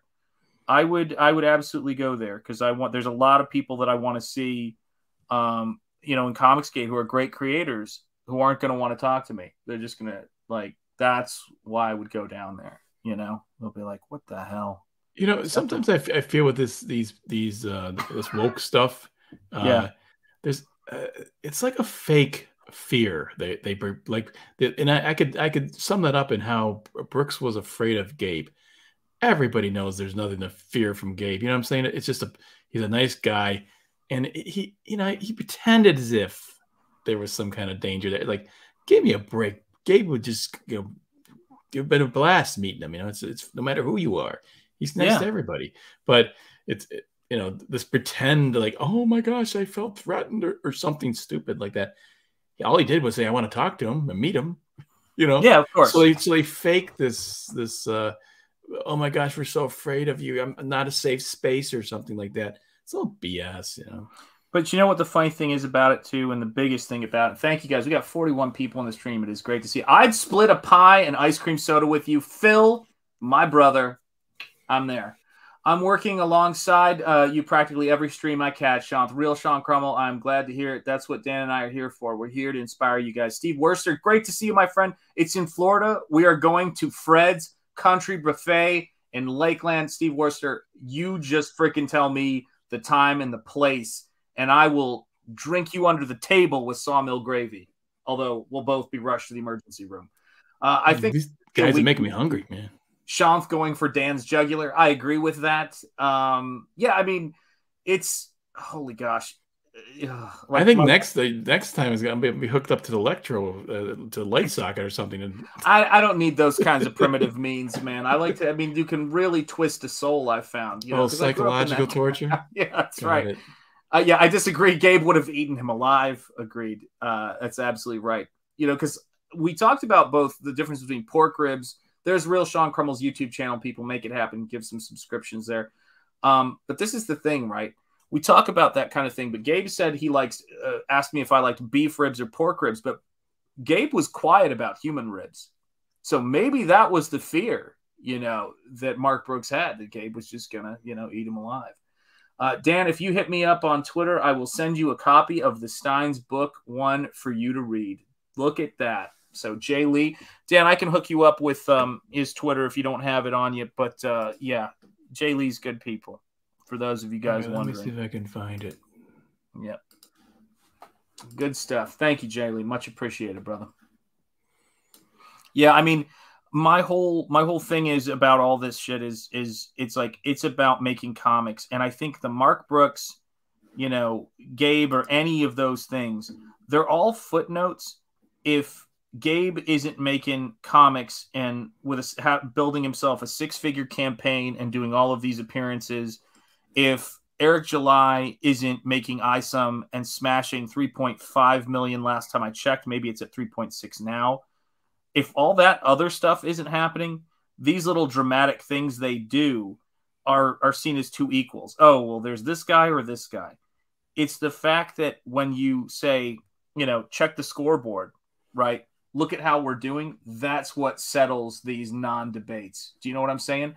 What's up, Funny Pictures? Good to see you. Funny Pictures Comics help make Professor Herbert and G uh, G Geo Adventures number one happen now on Indiegogo. There There's a lot go. of there's a lot of Jay Lees here. there are a lot of Jay Lees, man. That's right. So Gotta which one is it? I'm looking for on face and uh, on Twitter. Oh, hold on a second, Dan. Let me let me get this to you. Hold on a second, brother. I got I got Jay Lee in my messages. Hang on a second. Jay, where are you? James D. It's James D. Lee. That's who you're looking for, and it is um, at a um a n a n a s i o one. So I'm just gonna have to send this to you, man, because otherwise, my spelling is not gonna it's not gonna do me any favors in this. I'm gonna send the link to you. Hold on a second, brother. And here we go. So messages, Dan, and edit paste. There you go, kid. All right, just send it to you, man. Um, but yeah, I mean that's that's really what it is. Pop's dog. He's asleep. Anyone want to play fetch? There you go. Yeah, Gabe's killing it, making his own IPs, working on multiple highly successful crowdfunded comics. Guys, this is what we're talking about. I don't want Jay Lee dropped it before I or John dropped it before I could even get to it. Hail John, you're the man. And so did Jay Lee. Guys, this is the thing, right? When you look at this stuff that we're doing, there's only one thing we got to do, and we can't be distracted from it. It's making comics. That's it. That's all Making we got to bacon. do. Making bacon. That's absolutely right. God, that's like every. I loved that mug when I was a kid. Um, sorry, Southern uh, comedy mugs at uh, over Gatlinburg in my youth. Uh, what are you gonna do? Oh my lord, Okay, got it. you got it. There you go, man. We're making dreams come true here on Shanth Enjeti Art here at the Waffle Lodge. Make sure you are subscribed to this channel. Make sure you like this stream because the does help with the algorithm. I want people finding Comics Gate. I want people learning about the Lucent 2 Painted Death. I want people to be learning about Boots and Heels. I want people to be learning about all of the great comics we're doing. Jay Lee's Black book, Terror. Black Terror by my boy Vaughn, which is a great book, but not the book that Dan Lawless is working on right now. And oh, that is yeah. the thing, man. I I am, working on Black. No, you are, but I mean your book is Oh, what yeah, I'm yeah, talking yeah, about. Because remember, I'm a prick of the first order. That's the way it is. But you know what it is, Dan? This is what it comes down to. When we have our conversations about doing YouTube videos, all of this stuff that we're talking about, it is about having other people on the wall with you in what we're doing. Do you know what I'm saying? It's that they they like if if you've got someone like yourself who draws well, well, they and does all this great stuff. I love you doing this stuff. I want it to continue. I want to see your stuff for Camel Moon. I want to see your stuff for every person who hires you to do freelance stuff. That's I do this stuff too. It's big, but that makes us better than them at the freelance game, which we know we can do. But the step that puts it way over the top is we're better at the creating game, and we are. You know, Scotty Richard Studio after the chicken fried steak. Would you like to go mudding in a giant truck? First of all, let me tell you this: it's all about the four wheeler because that's how I want to go. Uh, I made that decision a long time ago that uh, four wheeling is probably the way because I've only had one minor four wheeling accident and it, it almost broke my leg. So you know, that's that's how we roll where I'm from, man. That's how we roll. Like Groundhog Day, you're gonna go off the edge, like kind of. Oh yeah, absolutely. And and Dan, you're gonna be standing there going, he might be okay. and boom. By the way, speaking of um sexiness in the term that that might be more fitting in some ways, and a story that had some some definite Groundhog Day. Andie MacDowell is just a stunner in that movie. She is. I love the the gentleman who played. Oh gosh, what's his name? Um, Ned Ryerson is a really thoughtful, amazing actor. You know, and he goes. Andie MacDowell in that movie is is an embodiment of excellence. And what Bill Murray's character is doing in that is courting excellence. And I loved that idea Hmm. as a concept. I freaking loved that. That's really, you know, that's actually a pretty significant movie. I mean, as as It far is. as it has a has a great message because he he's just doing it again and again. It's like that's.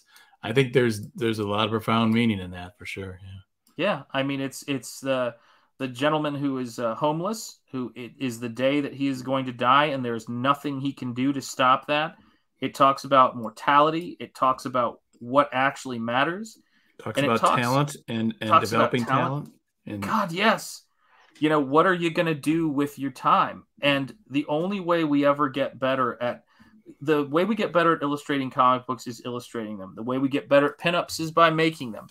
And the way that we get better at creating comics is by creating them. There's no other way for us to do it. Damn it. Why is Emperor Palpatine in my chat again? But we love you, Emperor. I prefer my all terrain vehicles to have legs. Indeed. Can I wait? Hold on a second. It was more. I prefer my all terrain vehicles to have legs. Yeah, it's kind of more where we were Oh, going. you know, that just reminds me of um, these guys were talking. Camel Moon was talking about um, Yeah. Biden's speech, you know, and oh man, dude, as he's I- talking away, you know, uh, Camel Moon's like doing the voice from the from the from the galactic. Was Uh, that was the It so weirdest funny, optics man. I've ever seen in my life, and uh, you know, it's gonna happen sometimes. You know, it's Yeah. uh, well, did you see this? The, the CNN took the they took their uh the red value. You know, the red, of course, was the horrible color. yeah, And they, they took it down to magenta. That was like a pink. Yeah. You, you can actually watch it go from red to pink. So the stars and stripes flag in the back is all of a sudden pink. yeah. So I, I will tell you this. Here's the thing about it, though, right? Is that the there is such a void of energy and passion.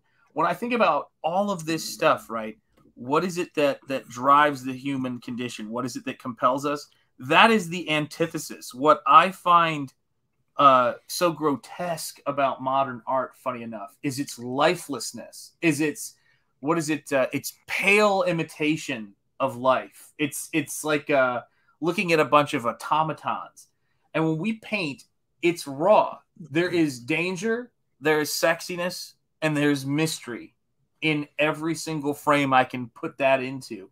yeah, in this I've book. always I've always thought the comic book art was a real art form. It is. It's Yeah. significant. It because it, speaks directly to your you know your dreams and your fantasies and uh, that's just that tells you a lot more I think than anything else. It's the the things that you want to see. You know. Yeah, I think what the French were right. They uh, on this this particular thing, they refer to bande dessinée and comics in general as the ninth art. Like they they describe it as it's it's a very important, unique art form.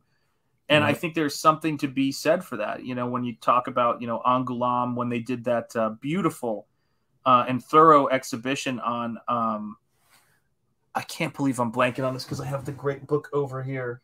uh, Richard Corbin, uh, and it's one of the best exhibition catalogs. Stuart is, was uh, selling it for a while. I think they still are. Of uh, Richard Corbin's work right before he passed away. These are the things that inspire me creatively. Like I'm a big fan of Richard Corbin stuff. I don't know how often I've talked about that on stream, but it's um you know he's just got this kind of raw he will do anything in a story it's the opposite of political correctness it's he was making commentary on uh, feminism and its various um So I never bizarre- read. I never read his stuff. I I, I saw it, and, and Oh, I- yeah. I, I didn't love the art. I, I felt it was uh like especially the women. I didn't think were that attractive, and Yeah, oh yeah, that's for me. It's it's just it's the rawness of it, man. Do you know what I mean? Yeah, It's like like Den or something like that, or what? yeah, like Den, and I was also thinking of the Bodyssey, which is another funny one, and then there's um, shoot, uh, Den, and then God, what was the other one?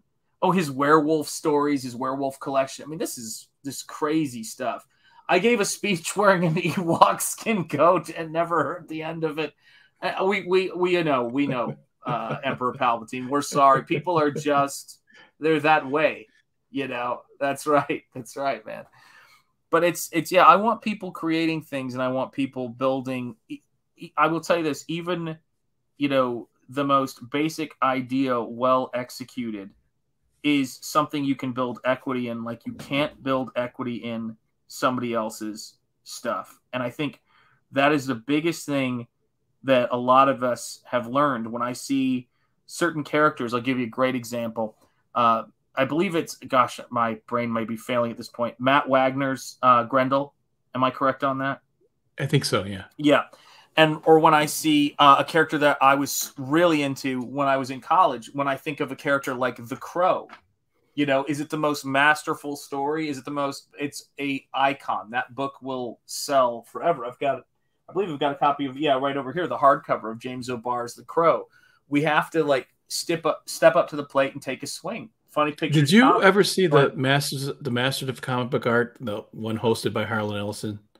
Yes, I did actually. Yeah, yeah. someone put that on YouTube not long ago. Isn't it? Isn't it that? See now that I saw that the year before I got into comic books that came out, and so I was like all geeked about getting into comics, and I was going to do something great. So imagine my disappointment when Yeah. you know, because I mean, I, I I got it. I got into comics in '87. Think about it, before in '86, you had The Dark Knight. I think you had Watchmen right in there. Yep. There, there was so there were so many great comics, and I was just like, oh my gosh, comic books are the cool, coolest thing. And then nothing happened. Like it just, I got in there and I'm like, oh, this stuff isn't any fun. It's just, you know, not that creative. And I don't know. It was not, it was not a good experience for me my first Well, dude, let me tell you, I'm gonna. I, there's a show you might know of because of where the area you were in. Um, but this is this is the craziest thing. Do you know the show? Um, do you know the show? Let me see if I can find it. Uh, not here, not here. Um, let me see if I can find it here. Do you know the show Prisoners of Gravity? Doesn't sound familiar now. Okay, kids. Uh, let me let me introduce you to something big here. Yeah, Prisoners of Gravity sounds like a space program. Um, Prisoners of Gravity was a show that was a Canadian show that was hosted by uh, Rick Green of the Red Green Show. Some of you guys might know that. Um, but this is the show. It uh, the show had people like back in the day, back in the early '90s, maybe late '80s, early '90s and it had people like you know Neil Gaiman, George R. R. Martin before any of this crazy phenomenon. Let me see if I can get this in here. And you go through this show. It's all, almost all of the episodes are on YouTube. And this is part three of a particular episode. There's uh, Rick Green. And thanks to one of the members of Oh, I remember seeing this. Yep. Find out where So let's see who we've got to- here. but um, I don't know. I, I think t- from my own feeling that, that I think people Uh, would find that Oh, if they you were go. immortal. Then, as you know, at the end of the book, the process changes, and he's starting to look toward a life that may be thousands of years long. Science and, fiction uh, authors, comic book authors. both Um, here we go. of uh, his Talking about Len made the primary villain of his Ling. stories the Yep. aged Anton Arcane, a scientist with a lust for life. And thanks to There you go. Arcane so obsessed. I love it when he puts the uh ca- the little, little cassette Uh, in. I think that just fits in with me. I, I Here's an interview with I Len younger, from- I was very sick. Yeah. I came very close to dying a number of times. And I worked with Len. Did uh, wrote a a story for me when I did the Flash Gordon 75th think about the anniversary. fact that someday I will not So be. It did a short stupefies story. He You know, uh, wrote, I, I'm incapable of Wow. thinking. I tell it. yeah, death. young Oh my Neil. gosh, look at him. It's there because life So young. Yep. is really Time did time wasn't his really friend, was it? The eternal aspect. 500 billion I do remember watching this show and I was Yep. like, wow, I sure feel like a nerd. Yeah, this is the thing though. You get people like uh, Dave Stevens on here. You get um, all all, of these different artists Yeah. and writers. worth a I'll have to thousand check it words. out. Yeah, so guys, Prisoners of Gravity, do check it out. These are things that Phil. Yep, but these are things that exist. Yeah, no one's ever heard of this stuff. So you can see interviews with people who stopped giving interviews. You can obviously see people like Dave Gibbons, but the shows are framed. They did it really smart. They came up with like seven or eight questions and they asked all these creators these questions and then they chopped it up into shows. So they had a show on racism where they're asking all of these different comic creators what they think about that. And they're talking about it in a very earnest and interesting way. Talk about the apocalypse and everybody talks about it. So you get Neil talk about it, but they did it all. Oh, Like oh, so one it's not, it, the show doesn't have like an interview of one person. It- Nope, it- it's it- themed and it's really good. It's really interesting. Yeah, very fascinating, man. You'd love it. fascinating. Fa- See, look, it's this is when what we should be doing, Dan. Nobody has to see it. It's all secret. Just builds the passion for the project. But I, I, I tell you guys this honestly. You know, it's um why, one of the reasons that uh, I'm so excited to back, you know, Aaron's newest book, is because Aaron and Shelley got more than their share of horseshit. I know you guys know this, but they got more than their share of garbage. But rather than wilt under it, which I don't think is in Aaron's uh, Aaron's DNA Or And- Shelley's. Shelley's for God's sake. Yeah, you beat me to the punch on that one, man. Yeah, no doubt. Um, they created a character in a genre I love, and then they're going to be introducing you to a second character in this book that you so you could have seen before, but Dan is going to be doing the colors, and it's Yeah. absolutely awesome. Well, and that's why uh, I'm so excited to see the Dan book. That's what it's about for me. Let's bring up those colors in that baby. All right, I'm going to bring up one color as long as you continue drawing once I show this. Is that deal, Dan? Can we do that? Yeah, we'll do. I, I want to show the quarter color too. Cover that. Cool. All right, fine. Wraith is so good, says Phil. The Loprestis are great, says John. Uh, we have a don't ask don't Tails Oh my god. All right, ready? Here we go, guys. You ready? Uh, oh, hold on. Say what the helter skelter is going on here? Let me see here. Add to stream. Boom. There you go. Dan, walk us through this.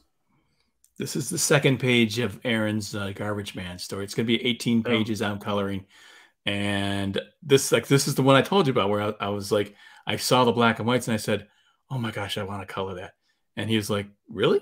And I, yeah, and and so I'm coloring it, you know. So it's kind of funny because I never really color. I, I mean, I do my own artwork. I, I'm not usually the I'm usually the penciler, you know, and Yeah. so this is kind of a new experience for me coloring. But I can, you know, I I if you, if I get an artist like like Aaron, Uh-huh. who's who basically draws fairly realistically, Uh-huh. uh, then I can color it in my own. You know, I mean, I, it's a it's it's close to my own style. It's very easy for me to do this, so it's it's it's just fun. Yeah. Coloring is actually I mean, it does take a lot of the pressure off you. Just sort of like ah, just put some color Mhm. on it, you know. Hail Comics Mate. Good to see you. Not a not a big deal, but uh, Yeah, man. It's great.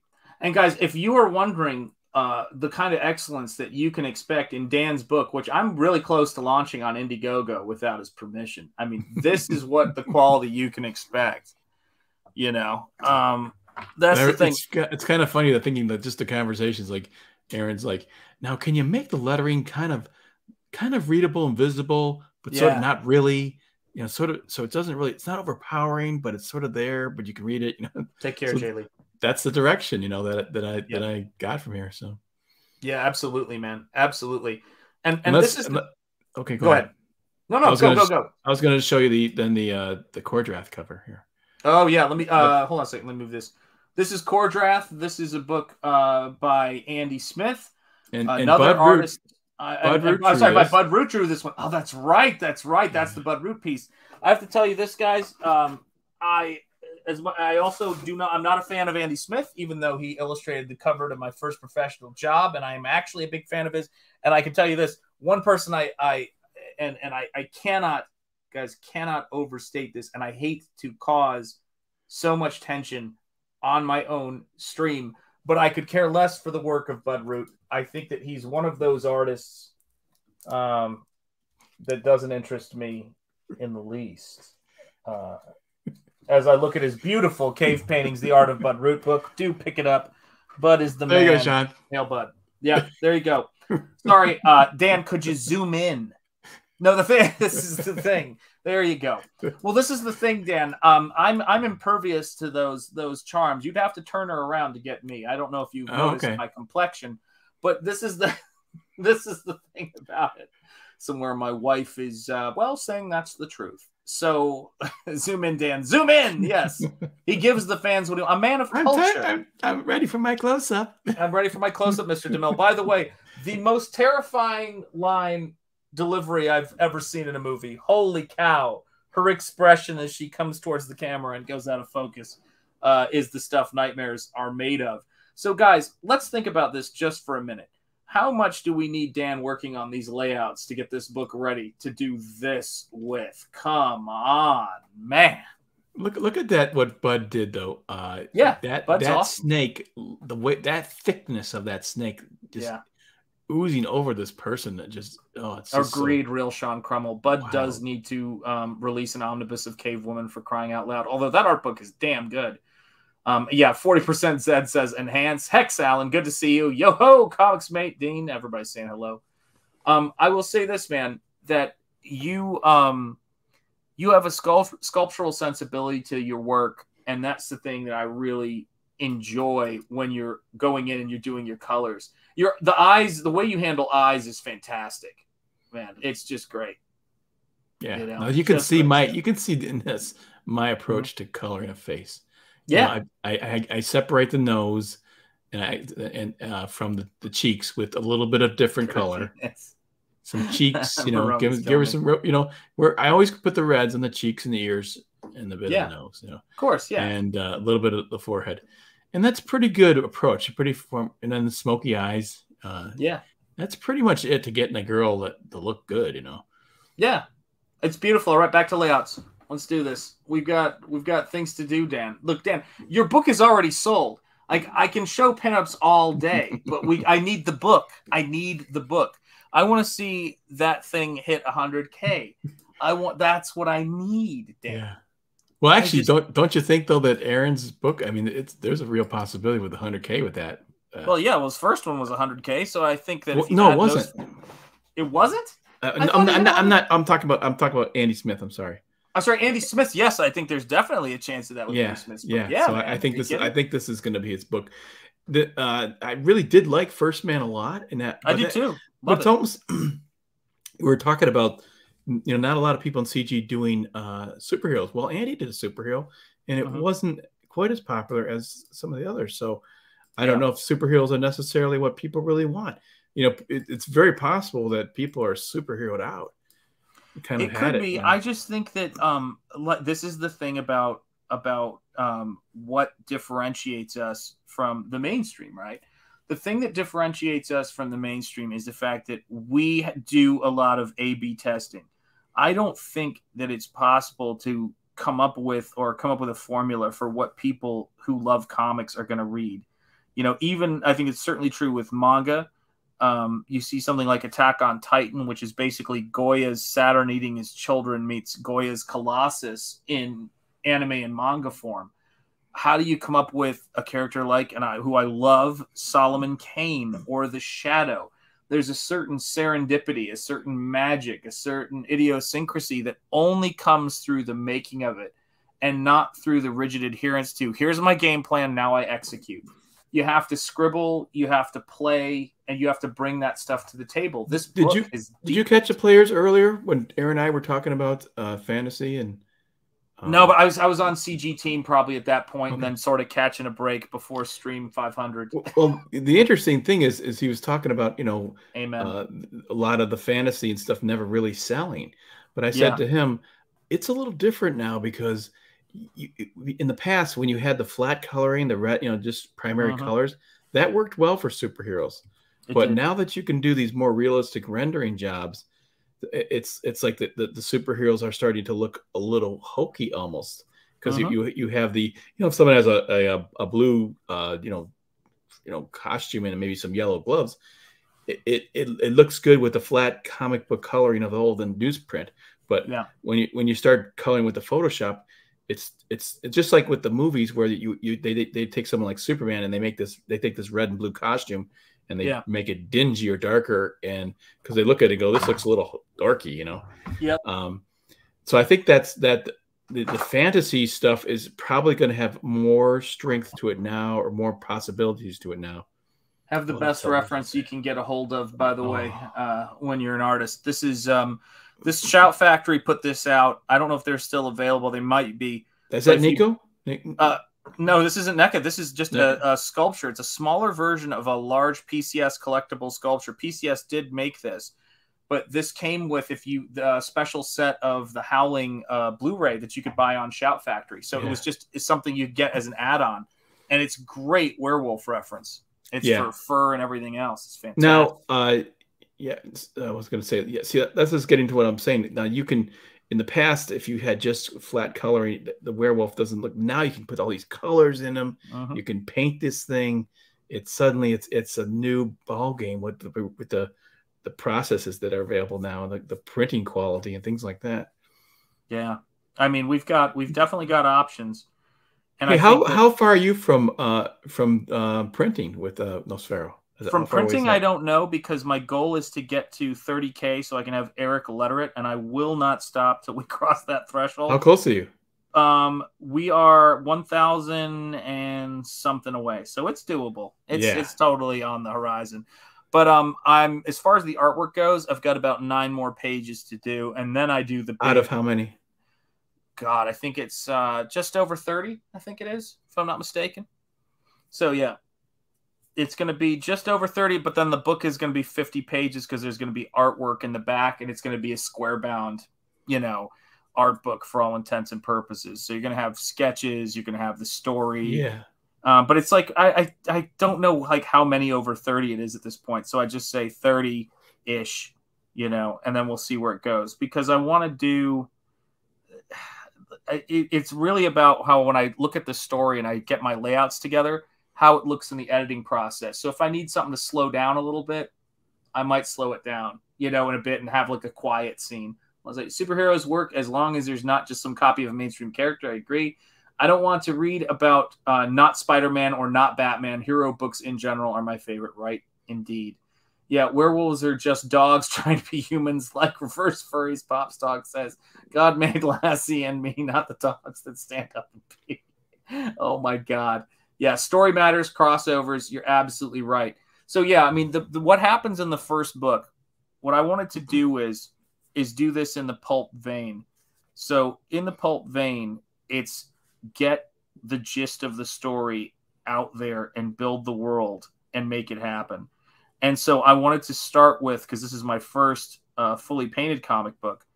Uh, one of the things that Ethan said was um, that I've always taken to heart, which is make sure you get the thing that's doable. you can get it done. You can afford to print it with the pages, like all of those factors. You can afford to mail it, all of those things, and make it something dynamite. So my first uh, two art books were 20 paint, 20 new paintings each, and then tons of bonus material. And this one, I realized I wanted to do every single one of these pages is probably about two, three, four, five, or six paintings. And I wanted to do 30 pages this time out and just move it further. So yeah, it's the most painted, uh, most paintings I've ever done for a single book. And it's the um, most painted comic book pages I've ever done. And it's almost there, man. It's crazy. Dan is Sean, doing a good job of deflecting attention from his layout shots, just saying runs and hides. Thanks a Rocky, lot, groomsman. Yeah, that's right, groomsman. Your your I was trouble. fine.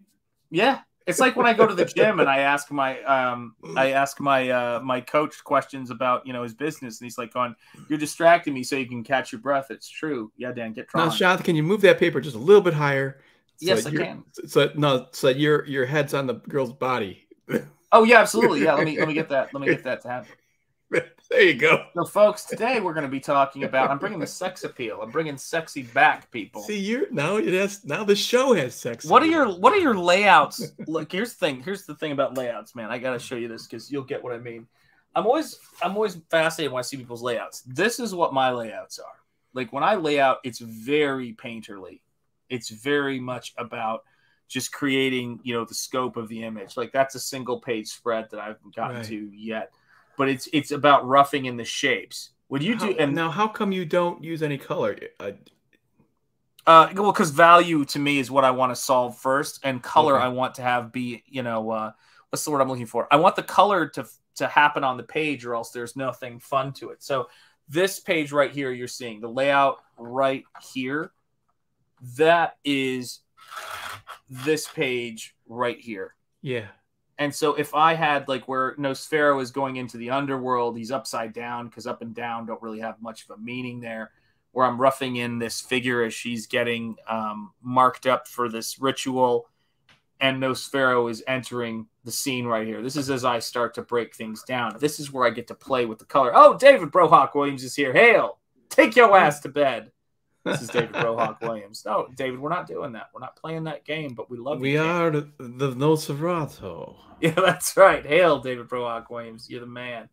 It is great to see you here in the chat, my friend. Yeah, check out Bass Reeves. Hail the Brohawk. Everybody hail the Brohawk. That's how it goes, man. Real Sean Yeah, Crummell. the All right, Truth, kids. Justice, American Way. Yeah. Beautiful book, but guys, Truth, Justice, American Way, six figure campaign. Play the trailer every single stream. Do check it out. And we've got all right, kids. Time for the month. Did you and- now? You of course you're seeing the stuff that's coming out of Dave. The, the, David's, Oh yeah, uh, it's beautiful. Um, that two page spread. Yeah, that- you know It's what I'm gorgeous. talking about. Oh Yeah. my gosh. Gary, Gary, and David and Gabe are a match made in heaven. Yeah, it and, and yeah, Gabe's fantastic. colors. I'm real. I love him on that. I just love him on, on that that those characters. Perfect. Yeah, you know? man. Yeah, I, there, I see action figures. Oh, she likes rituals, does she? Say no more. Say no more. No. Uh, your wife, does she like pictures, eh? God. Yeah. Uh, uh, takes me Is back. that that's the skit where he's, he's dressed up as a schoolboy, or is that? Yeah, the Monty Python skit is yeah, genius. Yeah, where where the- he's he's like costumes and Yeah, it's like the guy finally that is like, Then he "What says, "What's it like?" at. Yeah, and he's like, "Have you ever been with a woman?" He's like, "Yes." He goes, "What's it like?" such a such a tragic the thing. punchline. Uh, is great, man. Those punchlines. Although Man. my favorite uh, comedy routine of all time is a little bit more obscure, um, but probably not totally. Which is uh, Dudley Moore and Peter Cook's um, uh, Frog and Peach, which is one of my all-time favorite freaking skits ever. About a that. restaurant called the Frog and Peach, and it's freaking hilarious. Yeah, I uh, we were once driving from uh, from Canada uh, to back to uh, Rhode Island, and on our way back, there was a, we found out there was a restaurant called the Frog and Peach, and no one in the car had heard the skit, so I did the whole thing from start to finish. We got to the restaurant, and they were just dying laughing. We get to the restaurant, we go, "Why is this named the Frog and Peach?" My my in laws asked. They go, "Well, this is going to sound idiotic. There was this Peter Cook Dudley Moore skit." and we named the restaurant and went and they were just dying they were like oh my lord man this is just crazy stuff man crazy stuff Yeah, Gotta are you it. ready for uh your favorite season's coming up here, Halloween? yeah man i'm, I'm absolutely there i'm already celebrating it like i'm already uh i've already got some decorations out and i am absolutely ready for it man. I'm Okay. absolutely ready for it.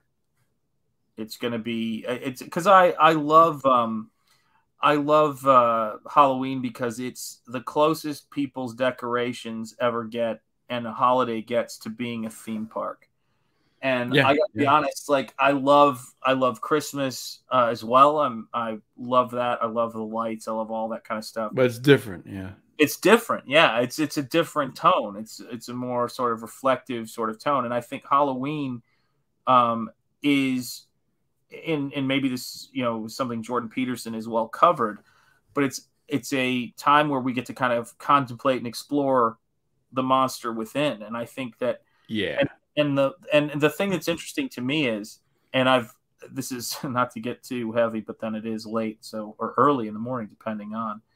Um, but I have been thinking about the fact that um, I wonder how much it affects people who live as characters online or characters in real life as they play out these sort of woke automatons. If there can be any joy in putting on a costume for that holiday, because they're in a costume year round. You know what I mean? And and that's really what it is. Sean's Halloween costume is going to be Dan's original character. That's right. It is. Um, I'm uploading horror gameplay videos every oct- every uh, day in October. Excellent. John, just wait. Shanth will parry in a sec. Yeah, look, they're just a master. The Gruesman. This is a master class in deflection. This is the thing, guys. I argued with parents. I feel like it's a few good men. I argued with parents at a dinner table who were trained to kill me. So don't think you can come in here and deflect and make me nervous. Well, I just I pull out my all my cards here. I had Halloween, so Yeah, I you mean, tried- you had Halloween and everything, That but- gets me like five minutes. It- you think it gets you five minutes, but this is the thing, Dan. You know how an artist can tell by looking at the eyes of another artist what he's doing, and if he's Oh. drawing.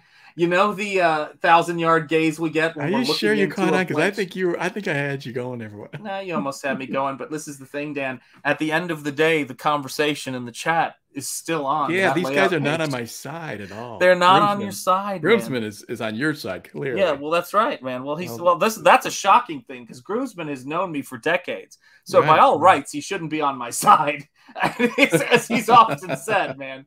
Yeah, twenty four seven cosplay hashtag new identity has its extra privileges. Um, David Brohawk Williams. I'm no longer David Williams. I'm Kal-El on Alien, um, an alien from Krypton, and I am Superman. You shall address me as such, bigot.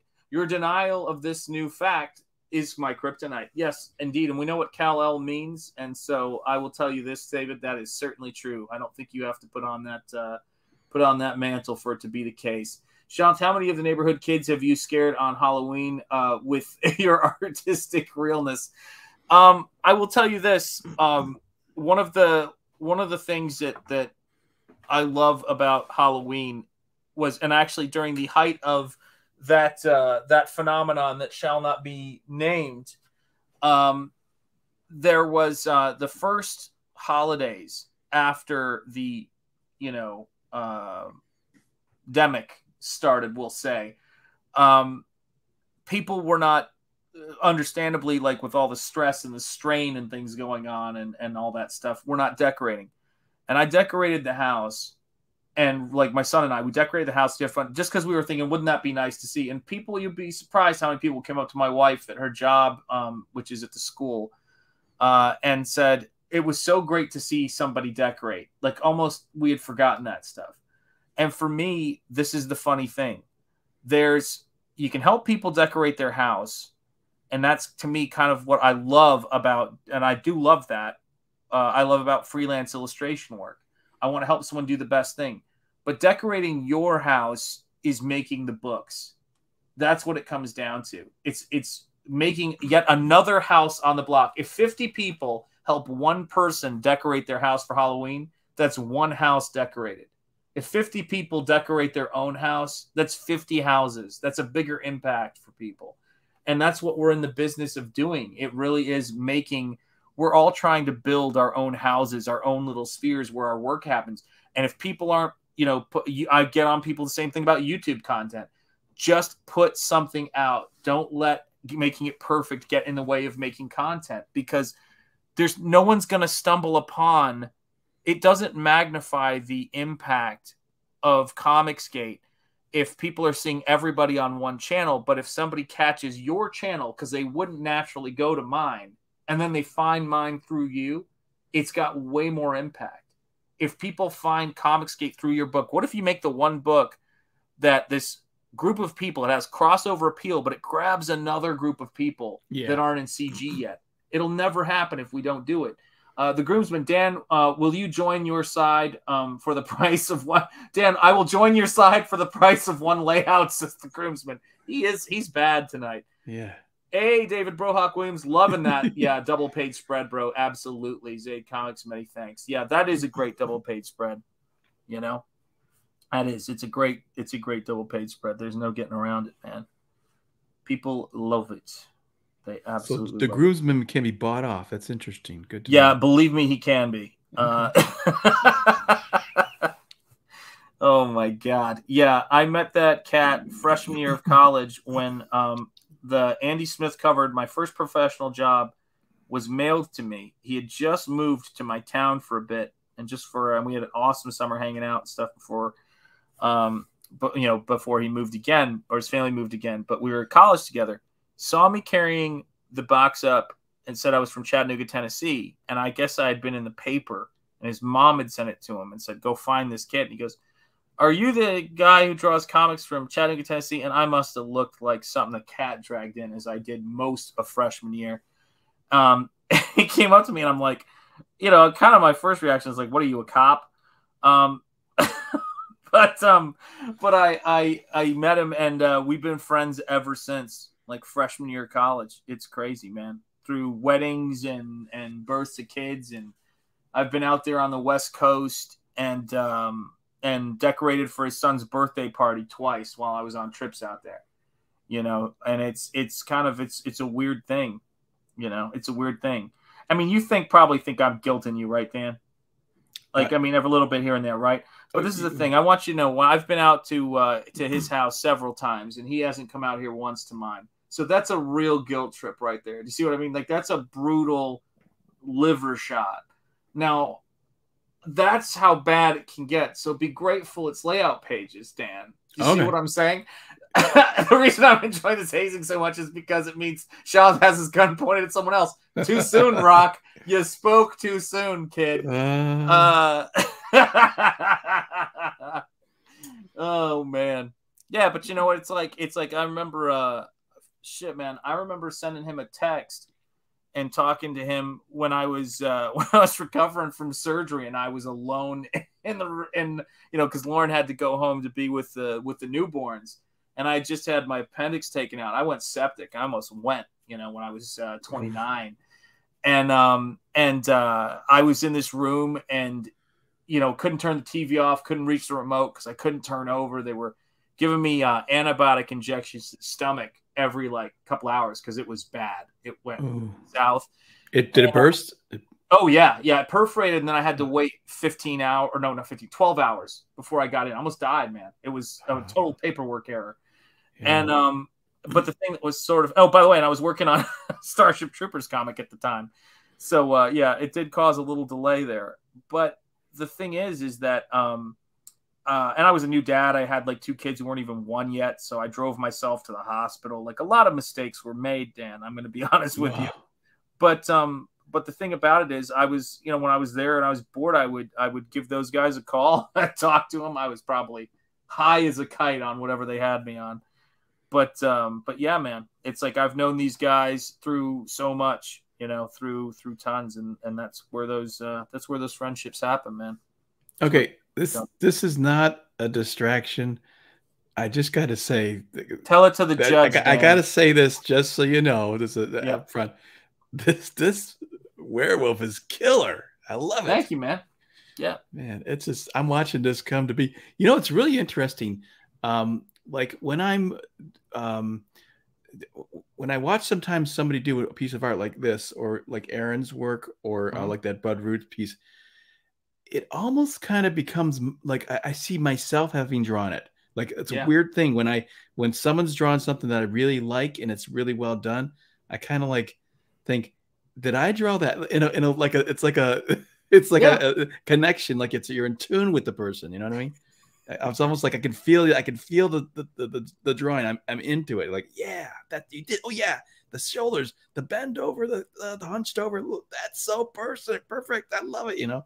Yeah, let me let me explain to you why this is killer though. You gotta you gotta understand this, Stan. This is this is the truth. This right here, these are the ABCs of me. Do you understand? This is what it's about.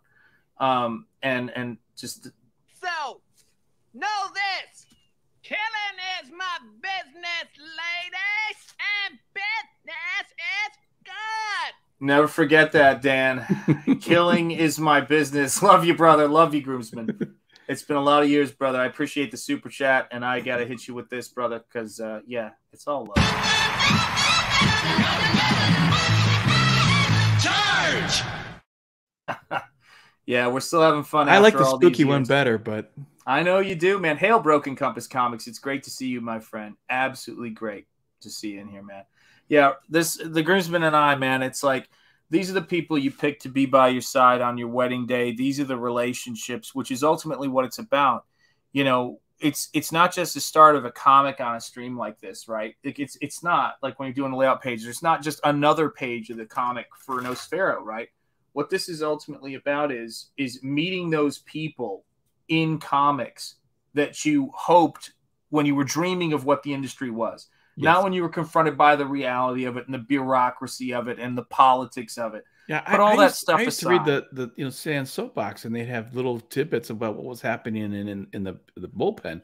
That Yep. was really enticing to me. Like I was like, oh man, I would love to be in the bullpen, kind of thing, you know, uh, which never happened, which was extremely disappointing, frankly. But Yeah, but you know what's so funny is is it's like um it was all of those those things and and I was talking about this a little bit today when we were uh, talking post CG team but also on the stream.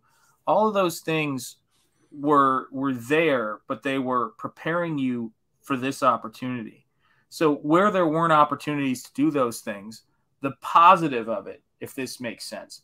The positive um of it was you uh, didn't have to take responsibility for missing opportunities because they weren't there. What I realized with Comicsgate is if I don't take this opportunity and if I don't make something, I have no excuse. The opportunity was there. I pissed it away. And that's really how I think about things because I could talk about, you know, it's that great quote from uh, Yellowstone where he says, almost is a difficult thing to measure because almost doesn't count. and I thought, close, you know, no cigar. Yeah, close but no cigar. And or as my teachers used to say, close only counts in horseshoes and hand grenades.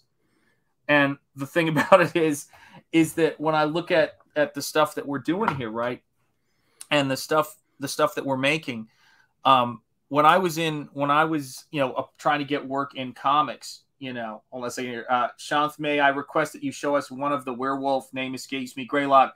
Um, at the moment, um, he's posing in front of Laurel that seems to be saying, "Yeah, maybe I work out."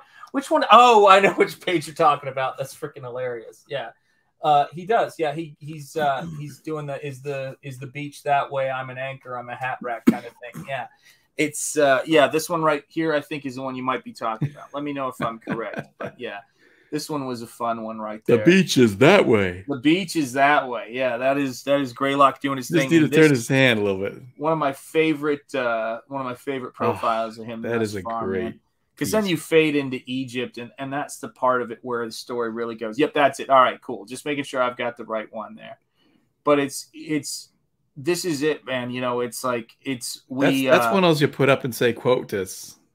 yeah know. man it's like how do we word this it's like you know this what i want for people who back the stuff we do but also who are on these streams is i want them to get this experience. Do you know what i'm talking about?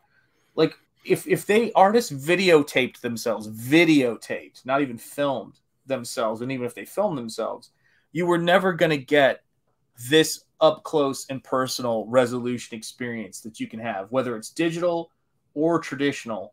You can put your audience right on the experience. Hail dying days of youtube. It's great to see you my friend. Long time no see indeed brother. Much love.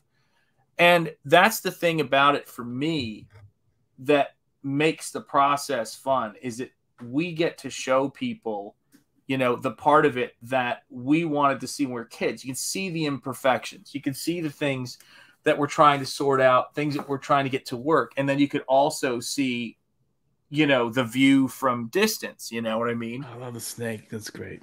well, I mean, this is just all this is all the stuff I'm doing right now, and and Malin let me show this on stream so I can show a little bit of this uh, when I was working. But it's the same thing when I was doing the piece for Malin.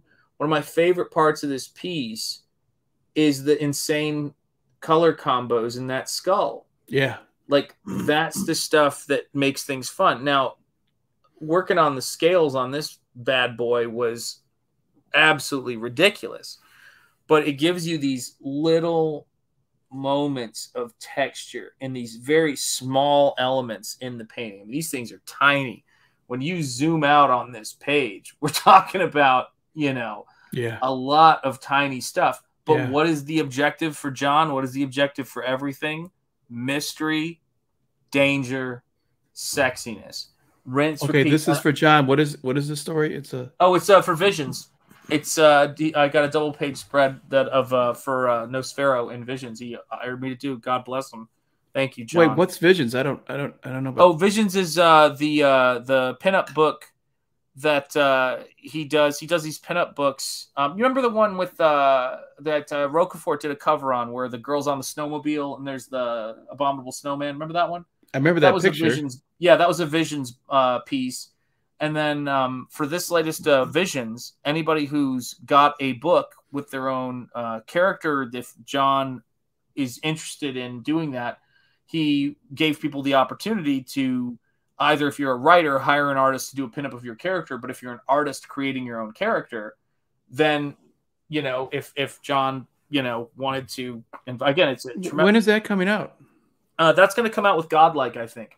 Oh, So okay. you're very welcome, John. You're very Yeah, welcome. he's gonna launch that pretty soon too. That the godlike. one? You know? I mean, Oh, not, not I mean, I mean, um, uh, graveyard shift next week. Yeah, man, he's got tons of stuff doing. Yeah, Dan, uh, he mean Jon Malin, not me. Yes, not that John, but the other John. There's many of Johns. John Nope, just pure guilt. You guys are hilarious. Um, but it's it's one of those things to where if I I hadn't, you know, like if you had told me nine months ago, right, and I was already making videos for Ethan, and I uh, my first Comicsgate stuff was like, you know, I've talked about this Red Rooster, you know, art I did, and then I reached out to Ethan and all this other stuff. So this this has been going on for a while, but if I hadn't ripped the band-aid off and gone and, and done this book, and it was, Dan, it's it, it's still it's intense, man. You got to just like you know whatever, but it was it was such a leap of faith. But when I think about how far things have come, man, I mean, I'm sitting here looking at this in the mail with my kids, and I'm like, my Cyberfrog card is hitting Yeah. everybody's mailboxes, and I am so proud of this piece. I did this piece probably two years ago. Mhm. It's been sitting in the vault. You know what I mean? Yeah. And but that's the cool thing about it is that all of this stuff sometimes it feels like you are being helped by hidden hands. The double page spread for Jon, where he graciously allowed me to work on on stream. Ethan's trading card, it's all hitting and generating heat for Nosfero. It's really Yeah. cool. Admiral, good to see you. Mason W, good to see you. So Sean is saying Dan can get his own character in there if he's quick. He's just got to bust the book out on this stream. Just get 20 pages done. That's all I'm asking, man. Come on now. Make it into a poster.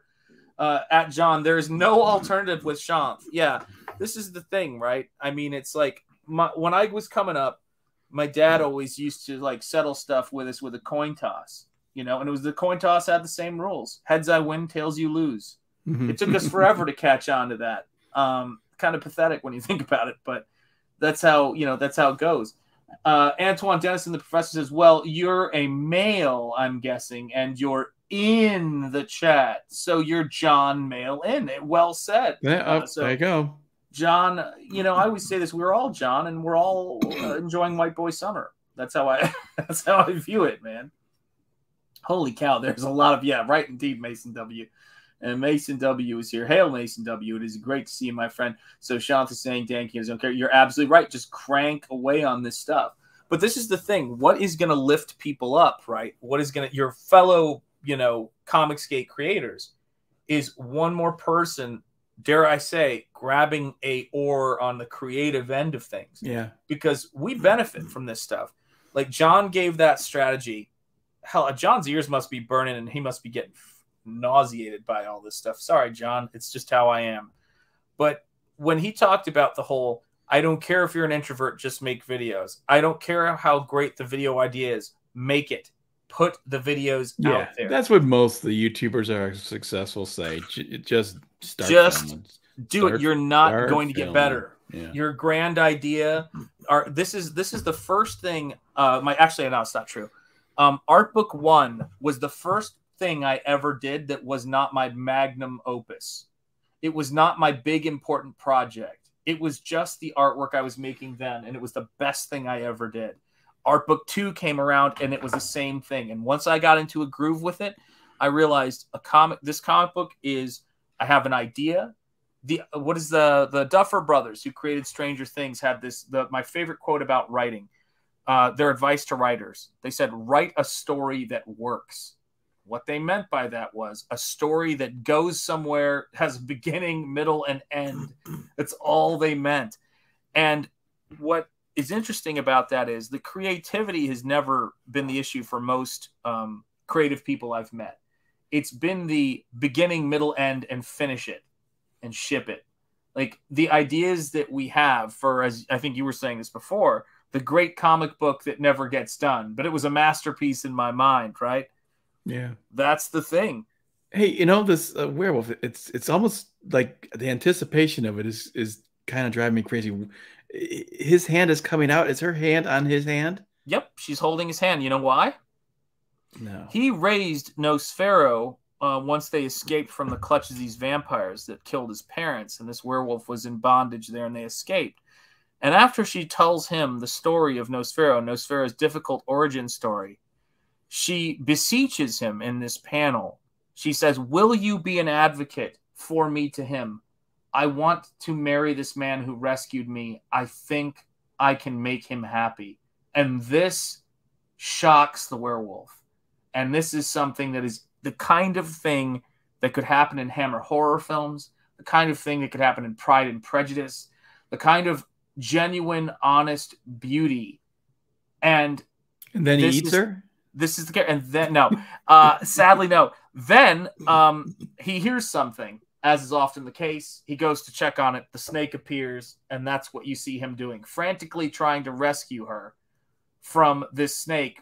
And unfortunately, uh, some of the Nosferatu-esque soldiers get the upper hand on him, and that is that's the kind of beautiful. Yeah, he's a good boy. He's a good boy. Um, the groomsman. I found out I was a little ignorant about artists. I just assumed all artists could make logos. That's very true, John. Uh, gotta go. Yeah. Uh, Coach John Millerby, coach. He's a good boy. Yes, Dan. Um, it's his hand. Now, what were you thinking, Antoine? behave. But we, you know, we love you, Antoine. So you behave however you want to behave, man. He, this is You've after he, he she wasn't impressed with the muscles. He's got to do. She wasn't impressed. Well, he's that's the thing. He's older, right? So when he meets Nosfero, Nosfero is a boy. That's why he's got the uh, the gray the gray fur is a big part of his character, which I didn't put in yet on that top panel, but you can see it here. You know, gray Yeah. lock. It's like the locks of gray that he has in his hair, and it's it's like when he um when he's trying to uh, rescue her, and he gets uh yeah these cats get the better of him, right? That's what leads us. Spoiler alert! Come on. to the great. Listen, I'll tell you what, guys. I've seen Psycho a million times. If the spoiler wrecks that movie, it ain't a good movie. But I'm not even giving you guys the end. The end is, whoo, Yeah, I like those vampires there. Just those, yeah, man. those guys at the they're- bottom. They're like ninjas. They're like foot soldiers meets vampires. Because I want this to be. There are stormtroopers. There are patsies. They're the guys that he cuts through like a hot knife through butter. However, they can wound you and they can kill you, and that's the fun thing about it, man. Danger. Forever 42, never grace. That's right. Yeah. Um, but yeah, his name is Carlos Danger. Um, I don't know. Jonathan, can you tone those boob size down? I don't think it's good for Marvel. yeah, I, well, I'll tell you this right now, man. Let me tell you something. I've been watching Hammer horror films, and the more I watch Hammer horror films, the more I go, uh, yeah, actually, it is realistic that women could be shaped that way. Uh, people, according to Hammer horror, uh, yeah, they could, and uh, they indeed were. But uh, but no, man, it's this is what it's about, right? The reason I can't tone it down, any of it, is funny enough. Um, now especially is with that Steranko thing, right? Because the and hey, what's up, Joe? Good to see you, my friend. Just back Nosfero tonight. Hail Sean. Hail Joe. Thank you so much, my friend. Hail. Joe, just for that, I got to give you two things for backing the book, man. And let us know what backer number you are. We always love to uh, to know that. But here's two things for you. First and foremost, our traditional tip of the hat.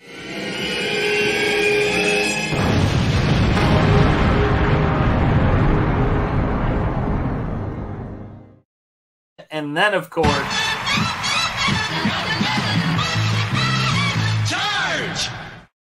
the ladies thank you. So there you go, my friend. Thank you, Joe. Much love, much appreciation. Thank you for backing the book, my friend. Um, you have probably kicked us over, so I should probably uh, go and check that out. Share that screen. Let me double check. Holy cow, guys! This is uh, this is big, man. This is a big one. So if we go to share, uh, share screen. Uh, let's go. Nosfero the Crypt Walker. Share away. There you go. Let me see if I can add this to the stream. Add to stream.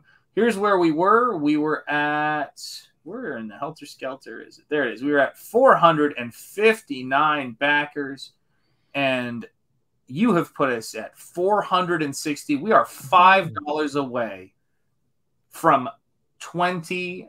Uh, not five dollars. Sorry, we are 45 dollars away from 29k, guys.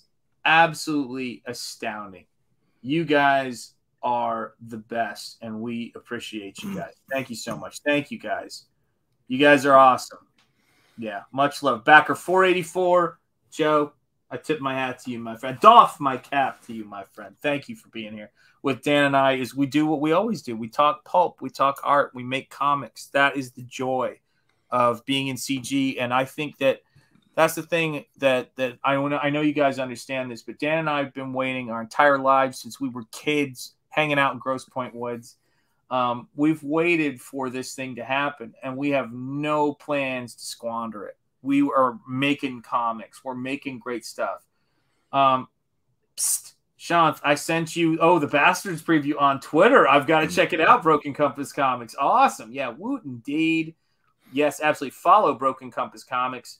Dying Days of YouTube. Cheers at Admiral Wack- Wackass and hail. That's right. Admiral Wackass is just dropping links and dropping knowledge. That is what we love. Love about all of this. You guys are awesome. Yeah, man. So what, what would you what would you think if if someone approached you or has someone approached you for movie rights, cartoon rights?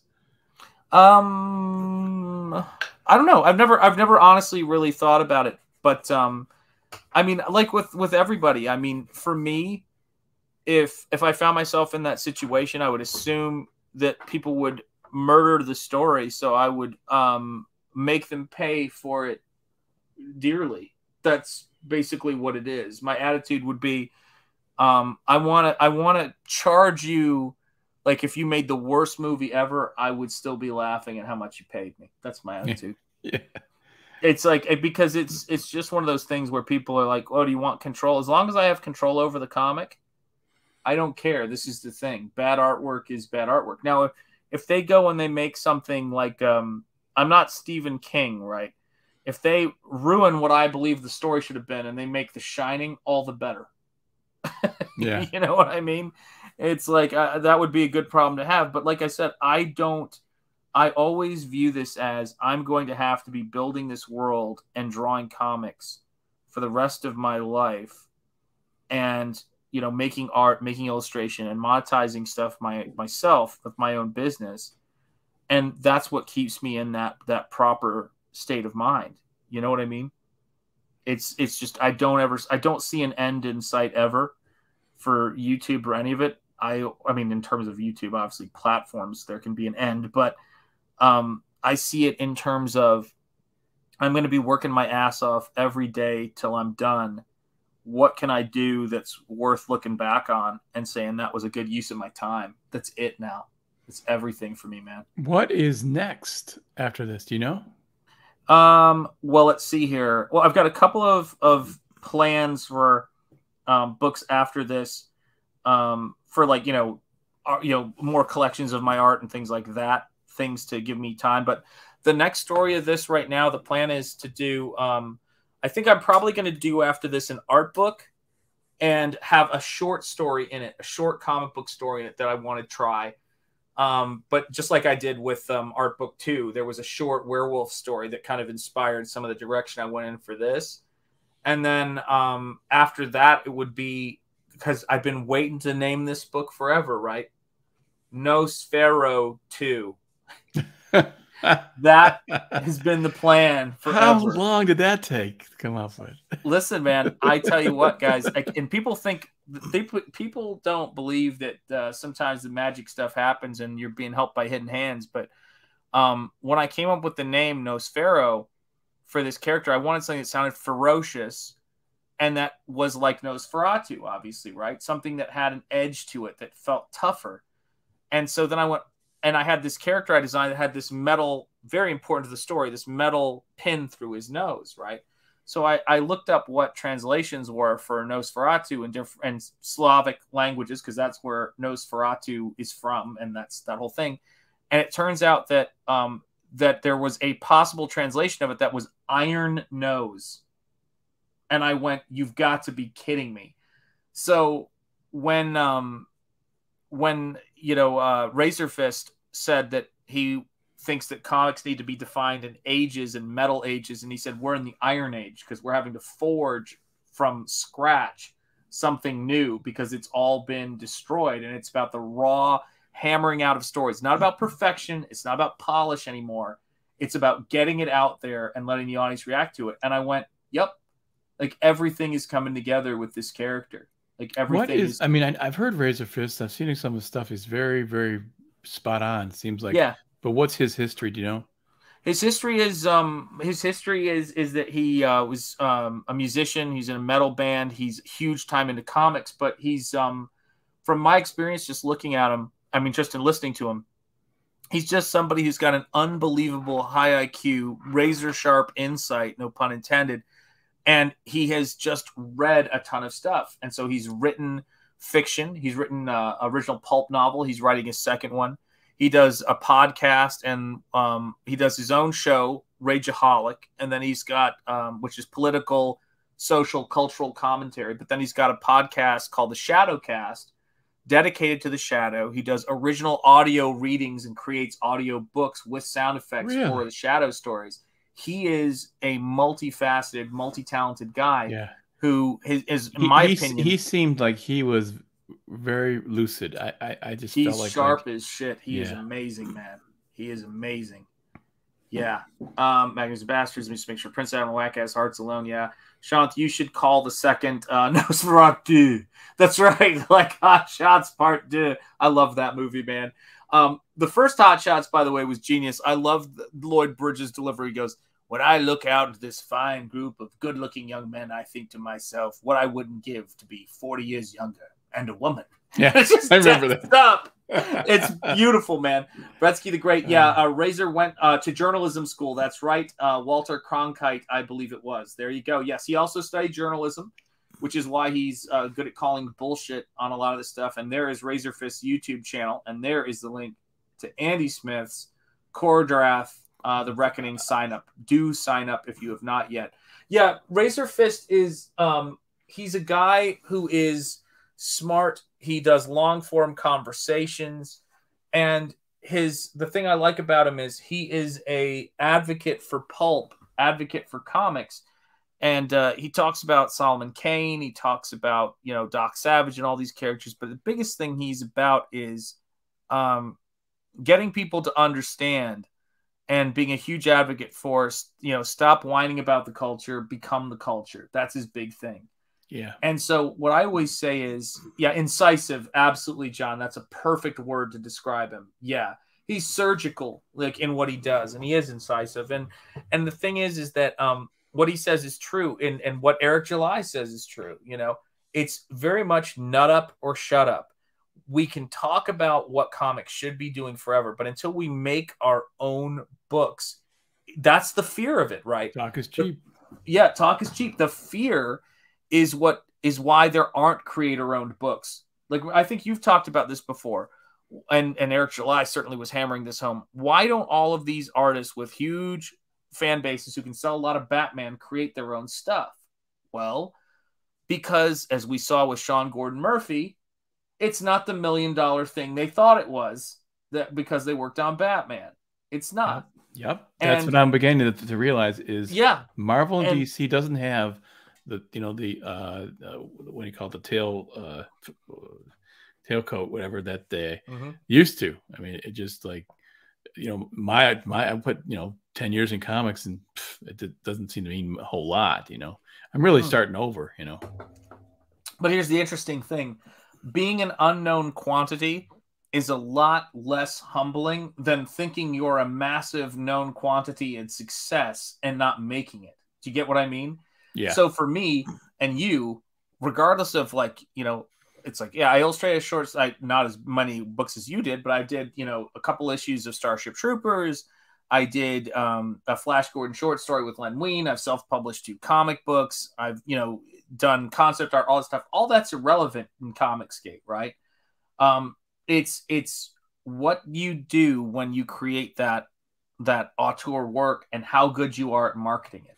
So for me, every single person should say to themselves, like I did when I was starting out on YouTube, uh, it doesn't matter how good I am at YouTube right now. If I want to sell books, I better can start making videos. And to me, good at YouTube is quantity, absolutely quantity.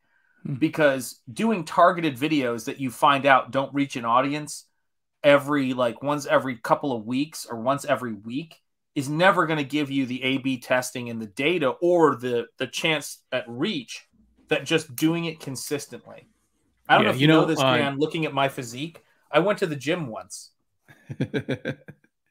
You know what I'm saying? Yeah.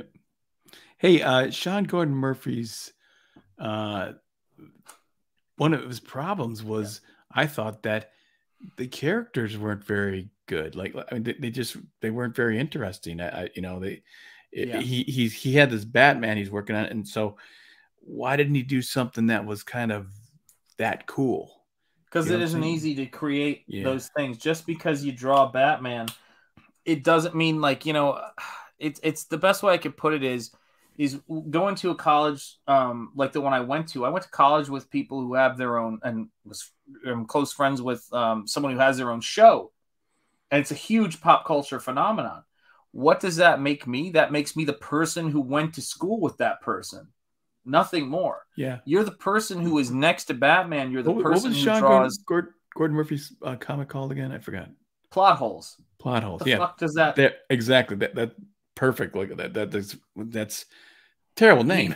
He wasn't, but he wasn't like me. He wasn't smart. He didn't. He didn't. Wasn't born with an That's not a marketable name. First That- name, and then name your comic book another impossible to pronounce name. You see, I was Yeah. thinking, Dan.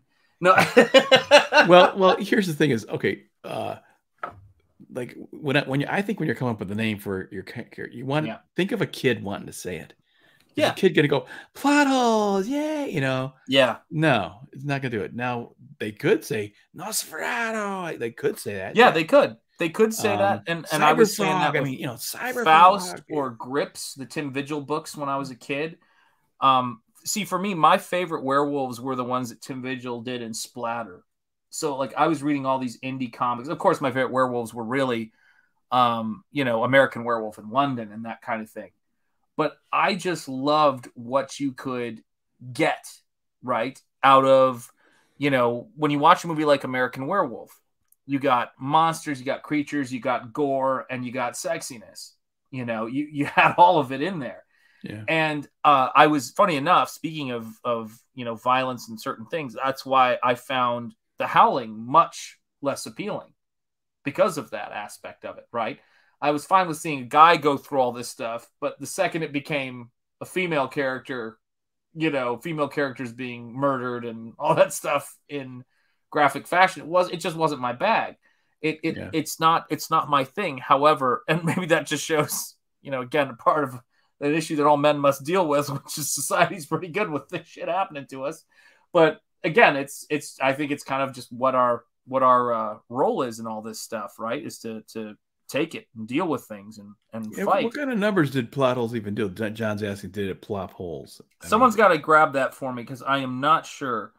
I'm not sure what it did. I- um, I but don't I, know I, I don't think it I think did it was bad. like 200 something. What? But he was talking about a million for it. Yeah, yeah. So he did he did 200, which is good. I think he did. I it's not But- bad.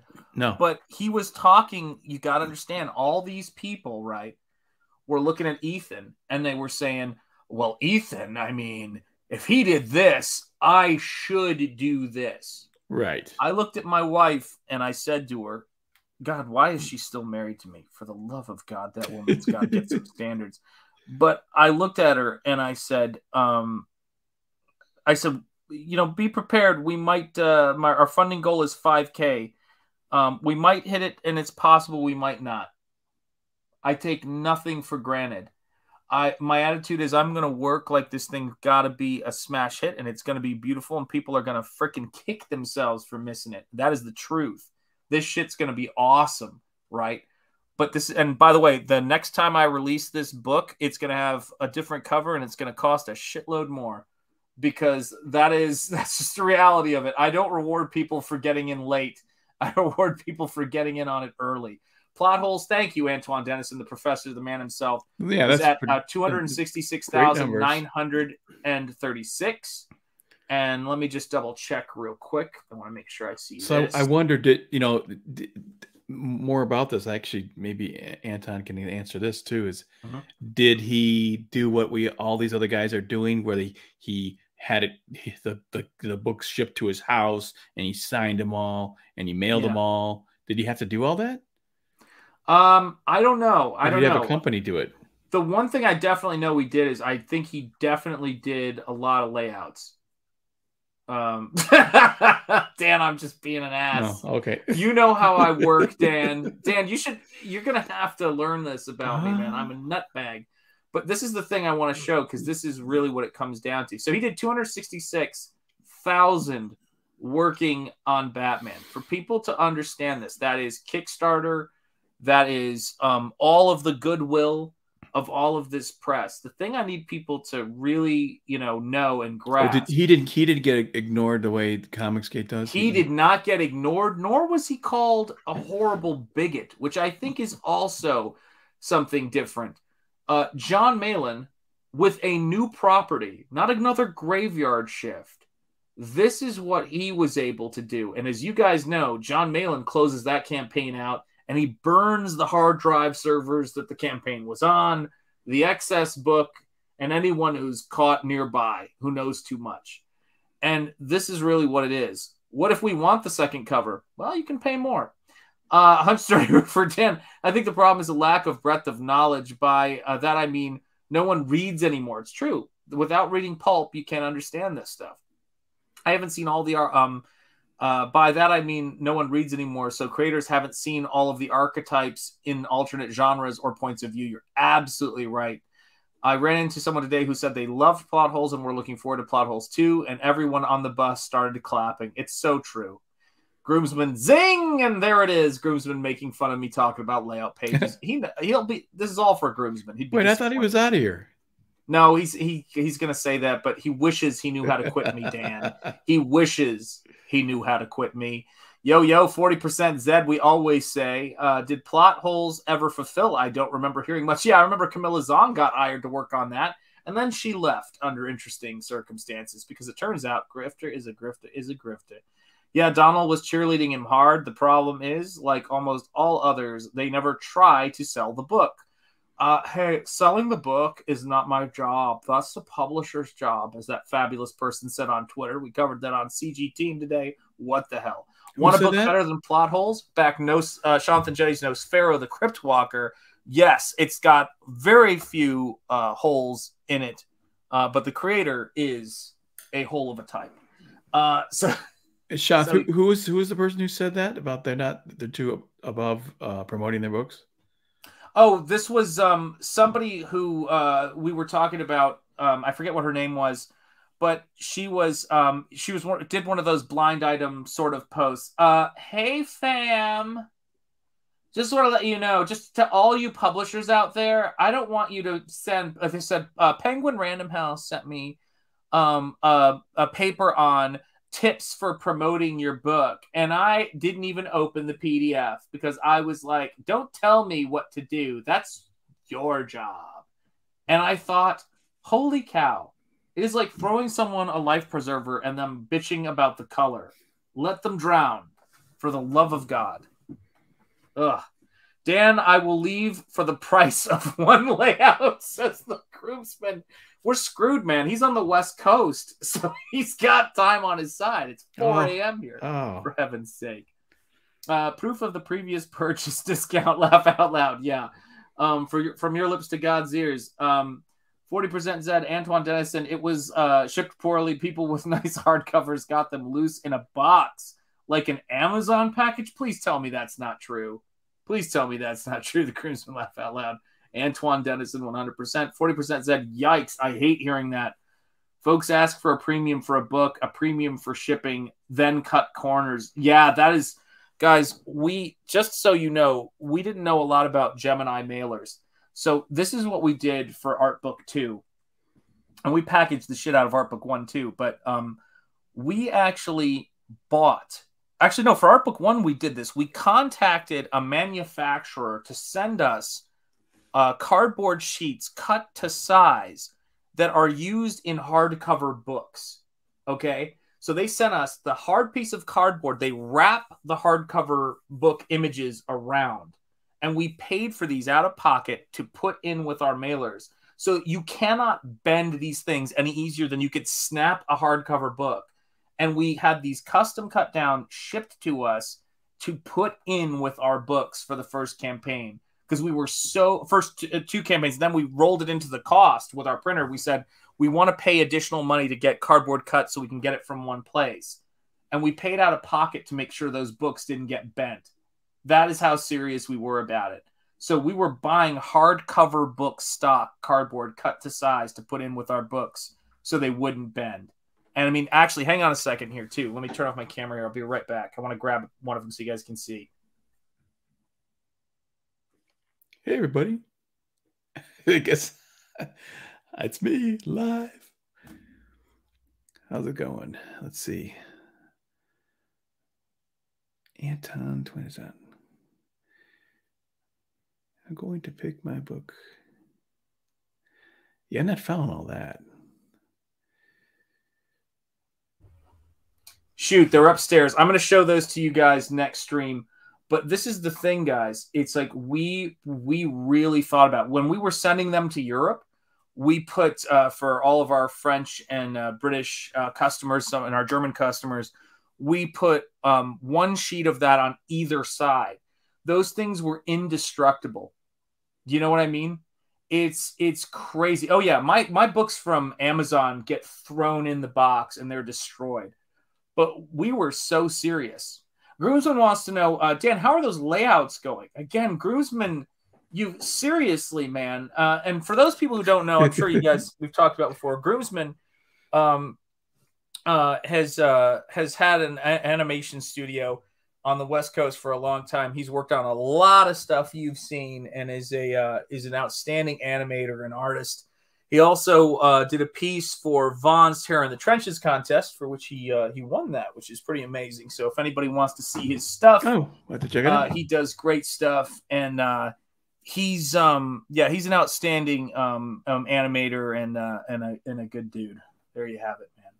But it's you yeah you really want to make sure um you really want to make sure you're getting these books to people as best as you can, and that stuff that comes out of you know obviously for us that stuff that comes out of profit you know what what there is you know?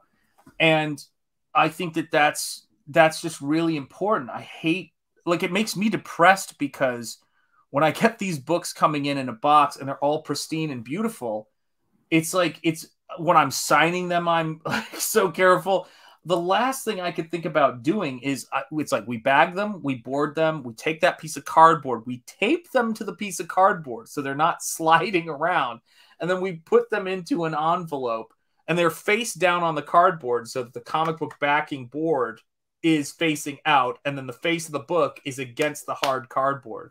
So we really make sure these things are we are packed when we were sending them.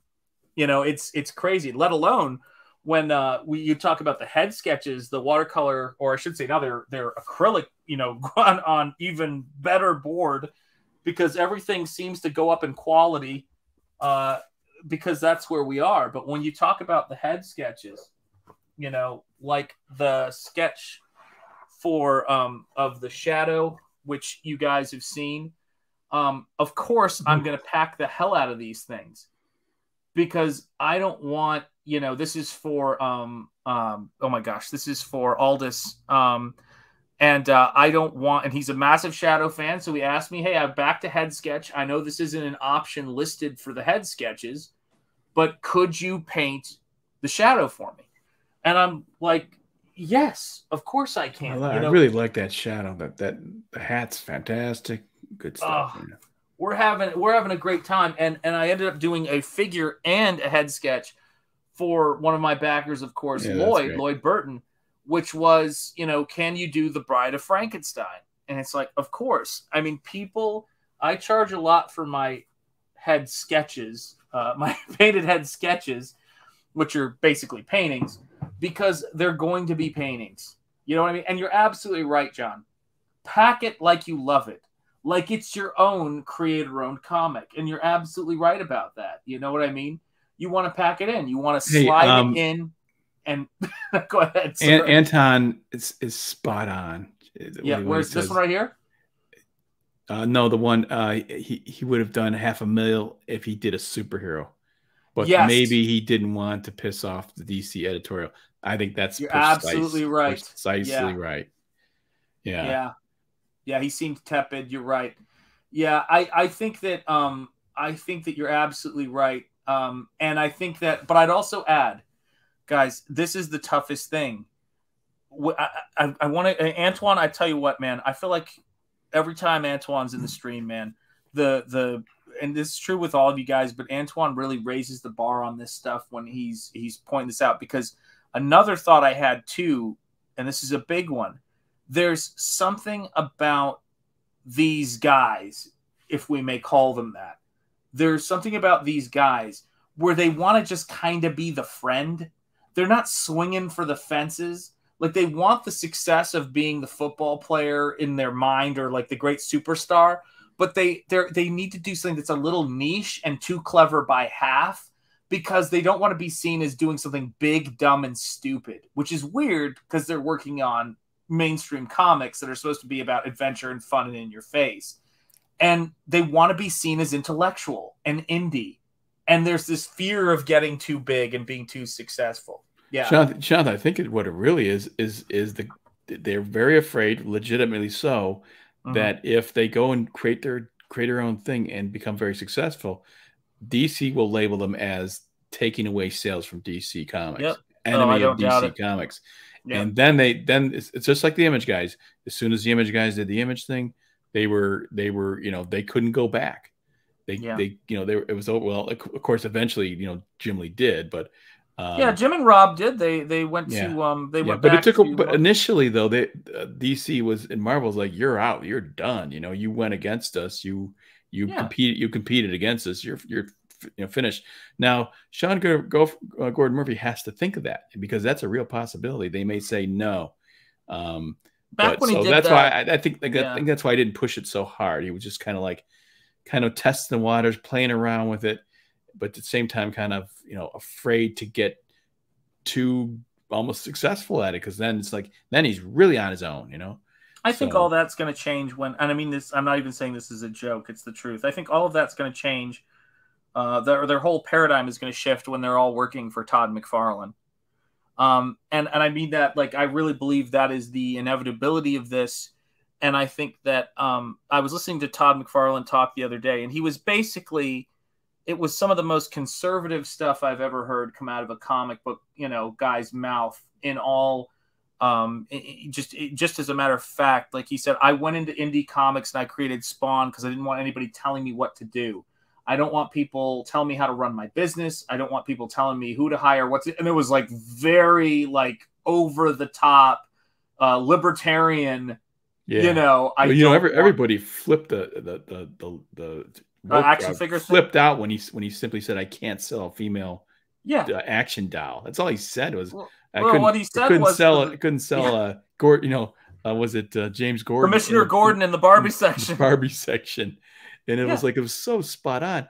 and and everyone these people just can't handle the truth. They can't handle the the reality of sales. Yeah.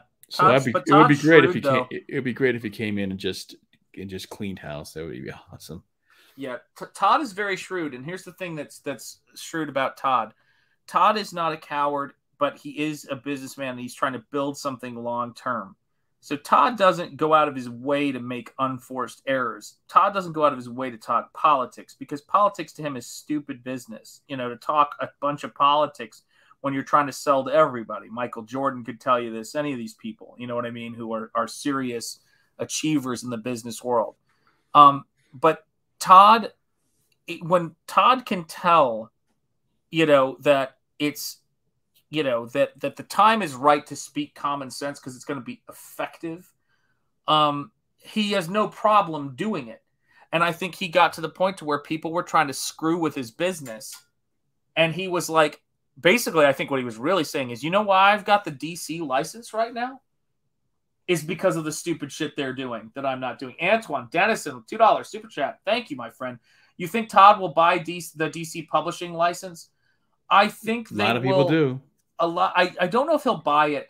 I think they'll license it to him with a profit sharing thing set up so that there's no overhead in that sense of him put you know putting upfront money. They'll say you make it, you produce it, and we'll split this, but it's not going to be like uh, it's a license, but I don't think he's going to be buying it with any kind of serious cash. That would be my. Hey, you know it'd be interesting if, if they licensed it to the Dio and Frank Miller. Oh my god, that'd be great, man. That'd be great. All right, Antoine, we got to play your video because you were generous enough to send us a super chat. Charge! Great stuff, Antoine. Thank you so much. Uh, yeah, um, in war, there is no substitute for victory. Amen. General Douglas MacArthur. Todd learned from baseball. He sure as hell did. Playing in the Pac 10, man. That's how you get it done. Wackus cracking up. Uh, this makes me remember a great quote from Todd. Where are the layouts, Dan? Good God, this is enough abuse from you fine people. We're at three hours. It is 4.06 Actually, yeah, in I'm, I'm ready to get. I'm tired. I'm getting ready to. Yeah, he's crash. feeling it. Uh, Dan, stick around. We'll we'll chat for a quick second after this, just for me to express my gratitude for you being here on this stream, guys. I'm going to play our closing song. Thank you guys for being here. Thank you for your Thank you, John. super. Always, he's always putting links in, it- in the chat. John's for- always getting it done. Thank you to all of you guys. Antoine Dying Days at YouTube. John, the groomsman, of course. My brother from another mother. Micra, 40%. Zed. All of you guys have been great. Admiral Wackass, of course. American Comics Company. You guys are the best. We're going to play our song on the way out. I thank you for your time. I thank you for your support of Nosfero. Joe, thank you for kicking us up. Uh, one more backer here and getting us there. You guys are awesome. Uh, take care. Uh, it has been an honor and a pleasure being here with my brother Dan. Thank you, McGregorable J, um, a, a kindred spirit, a fellow artist, and someone whose work I deeply respect and admire. So, you guys take care and have a great evening, and we will see you guys soon. Take care. Here's a little something for you busters. Yeah. You're not even learning anything on the street. Yeah. You think I'm stupid, son? Yeah. I'm trying to say to you, boy. Yeah. What's up with that? Look at me, damn it. Y'all cowards don't even smoke crack. What's up with that? smoke crack, don't you? Y'all cowards don't even smoke crack. Look at me, boy. Hey to You you, smoke crack, don't you? don't even smoke crack. You know what that does to you? Huh? You smoke crack, don't you? Smoke crack. Go on and do it expeditiously. What's up with that? It kills your brain cells, son. It kills your brain cells. Don't even smoke crack.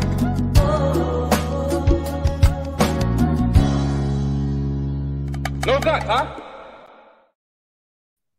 Stay gold, you beautiful people. Thank you, John, for that. I apologize. I forgot you were there. You may go now.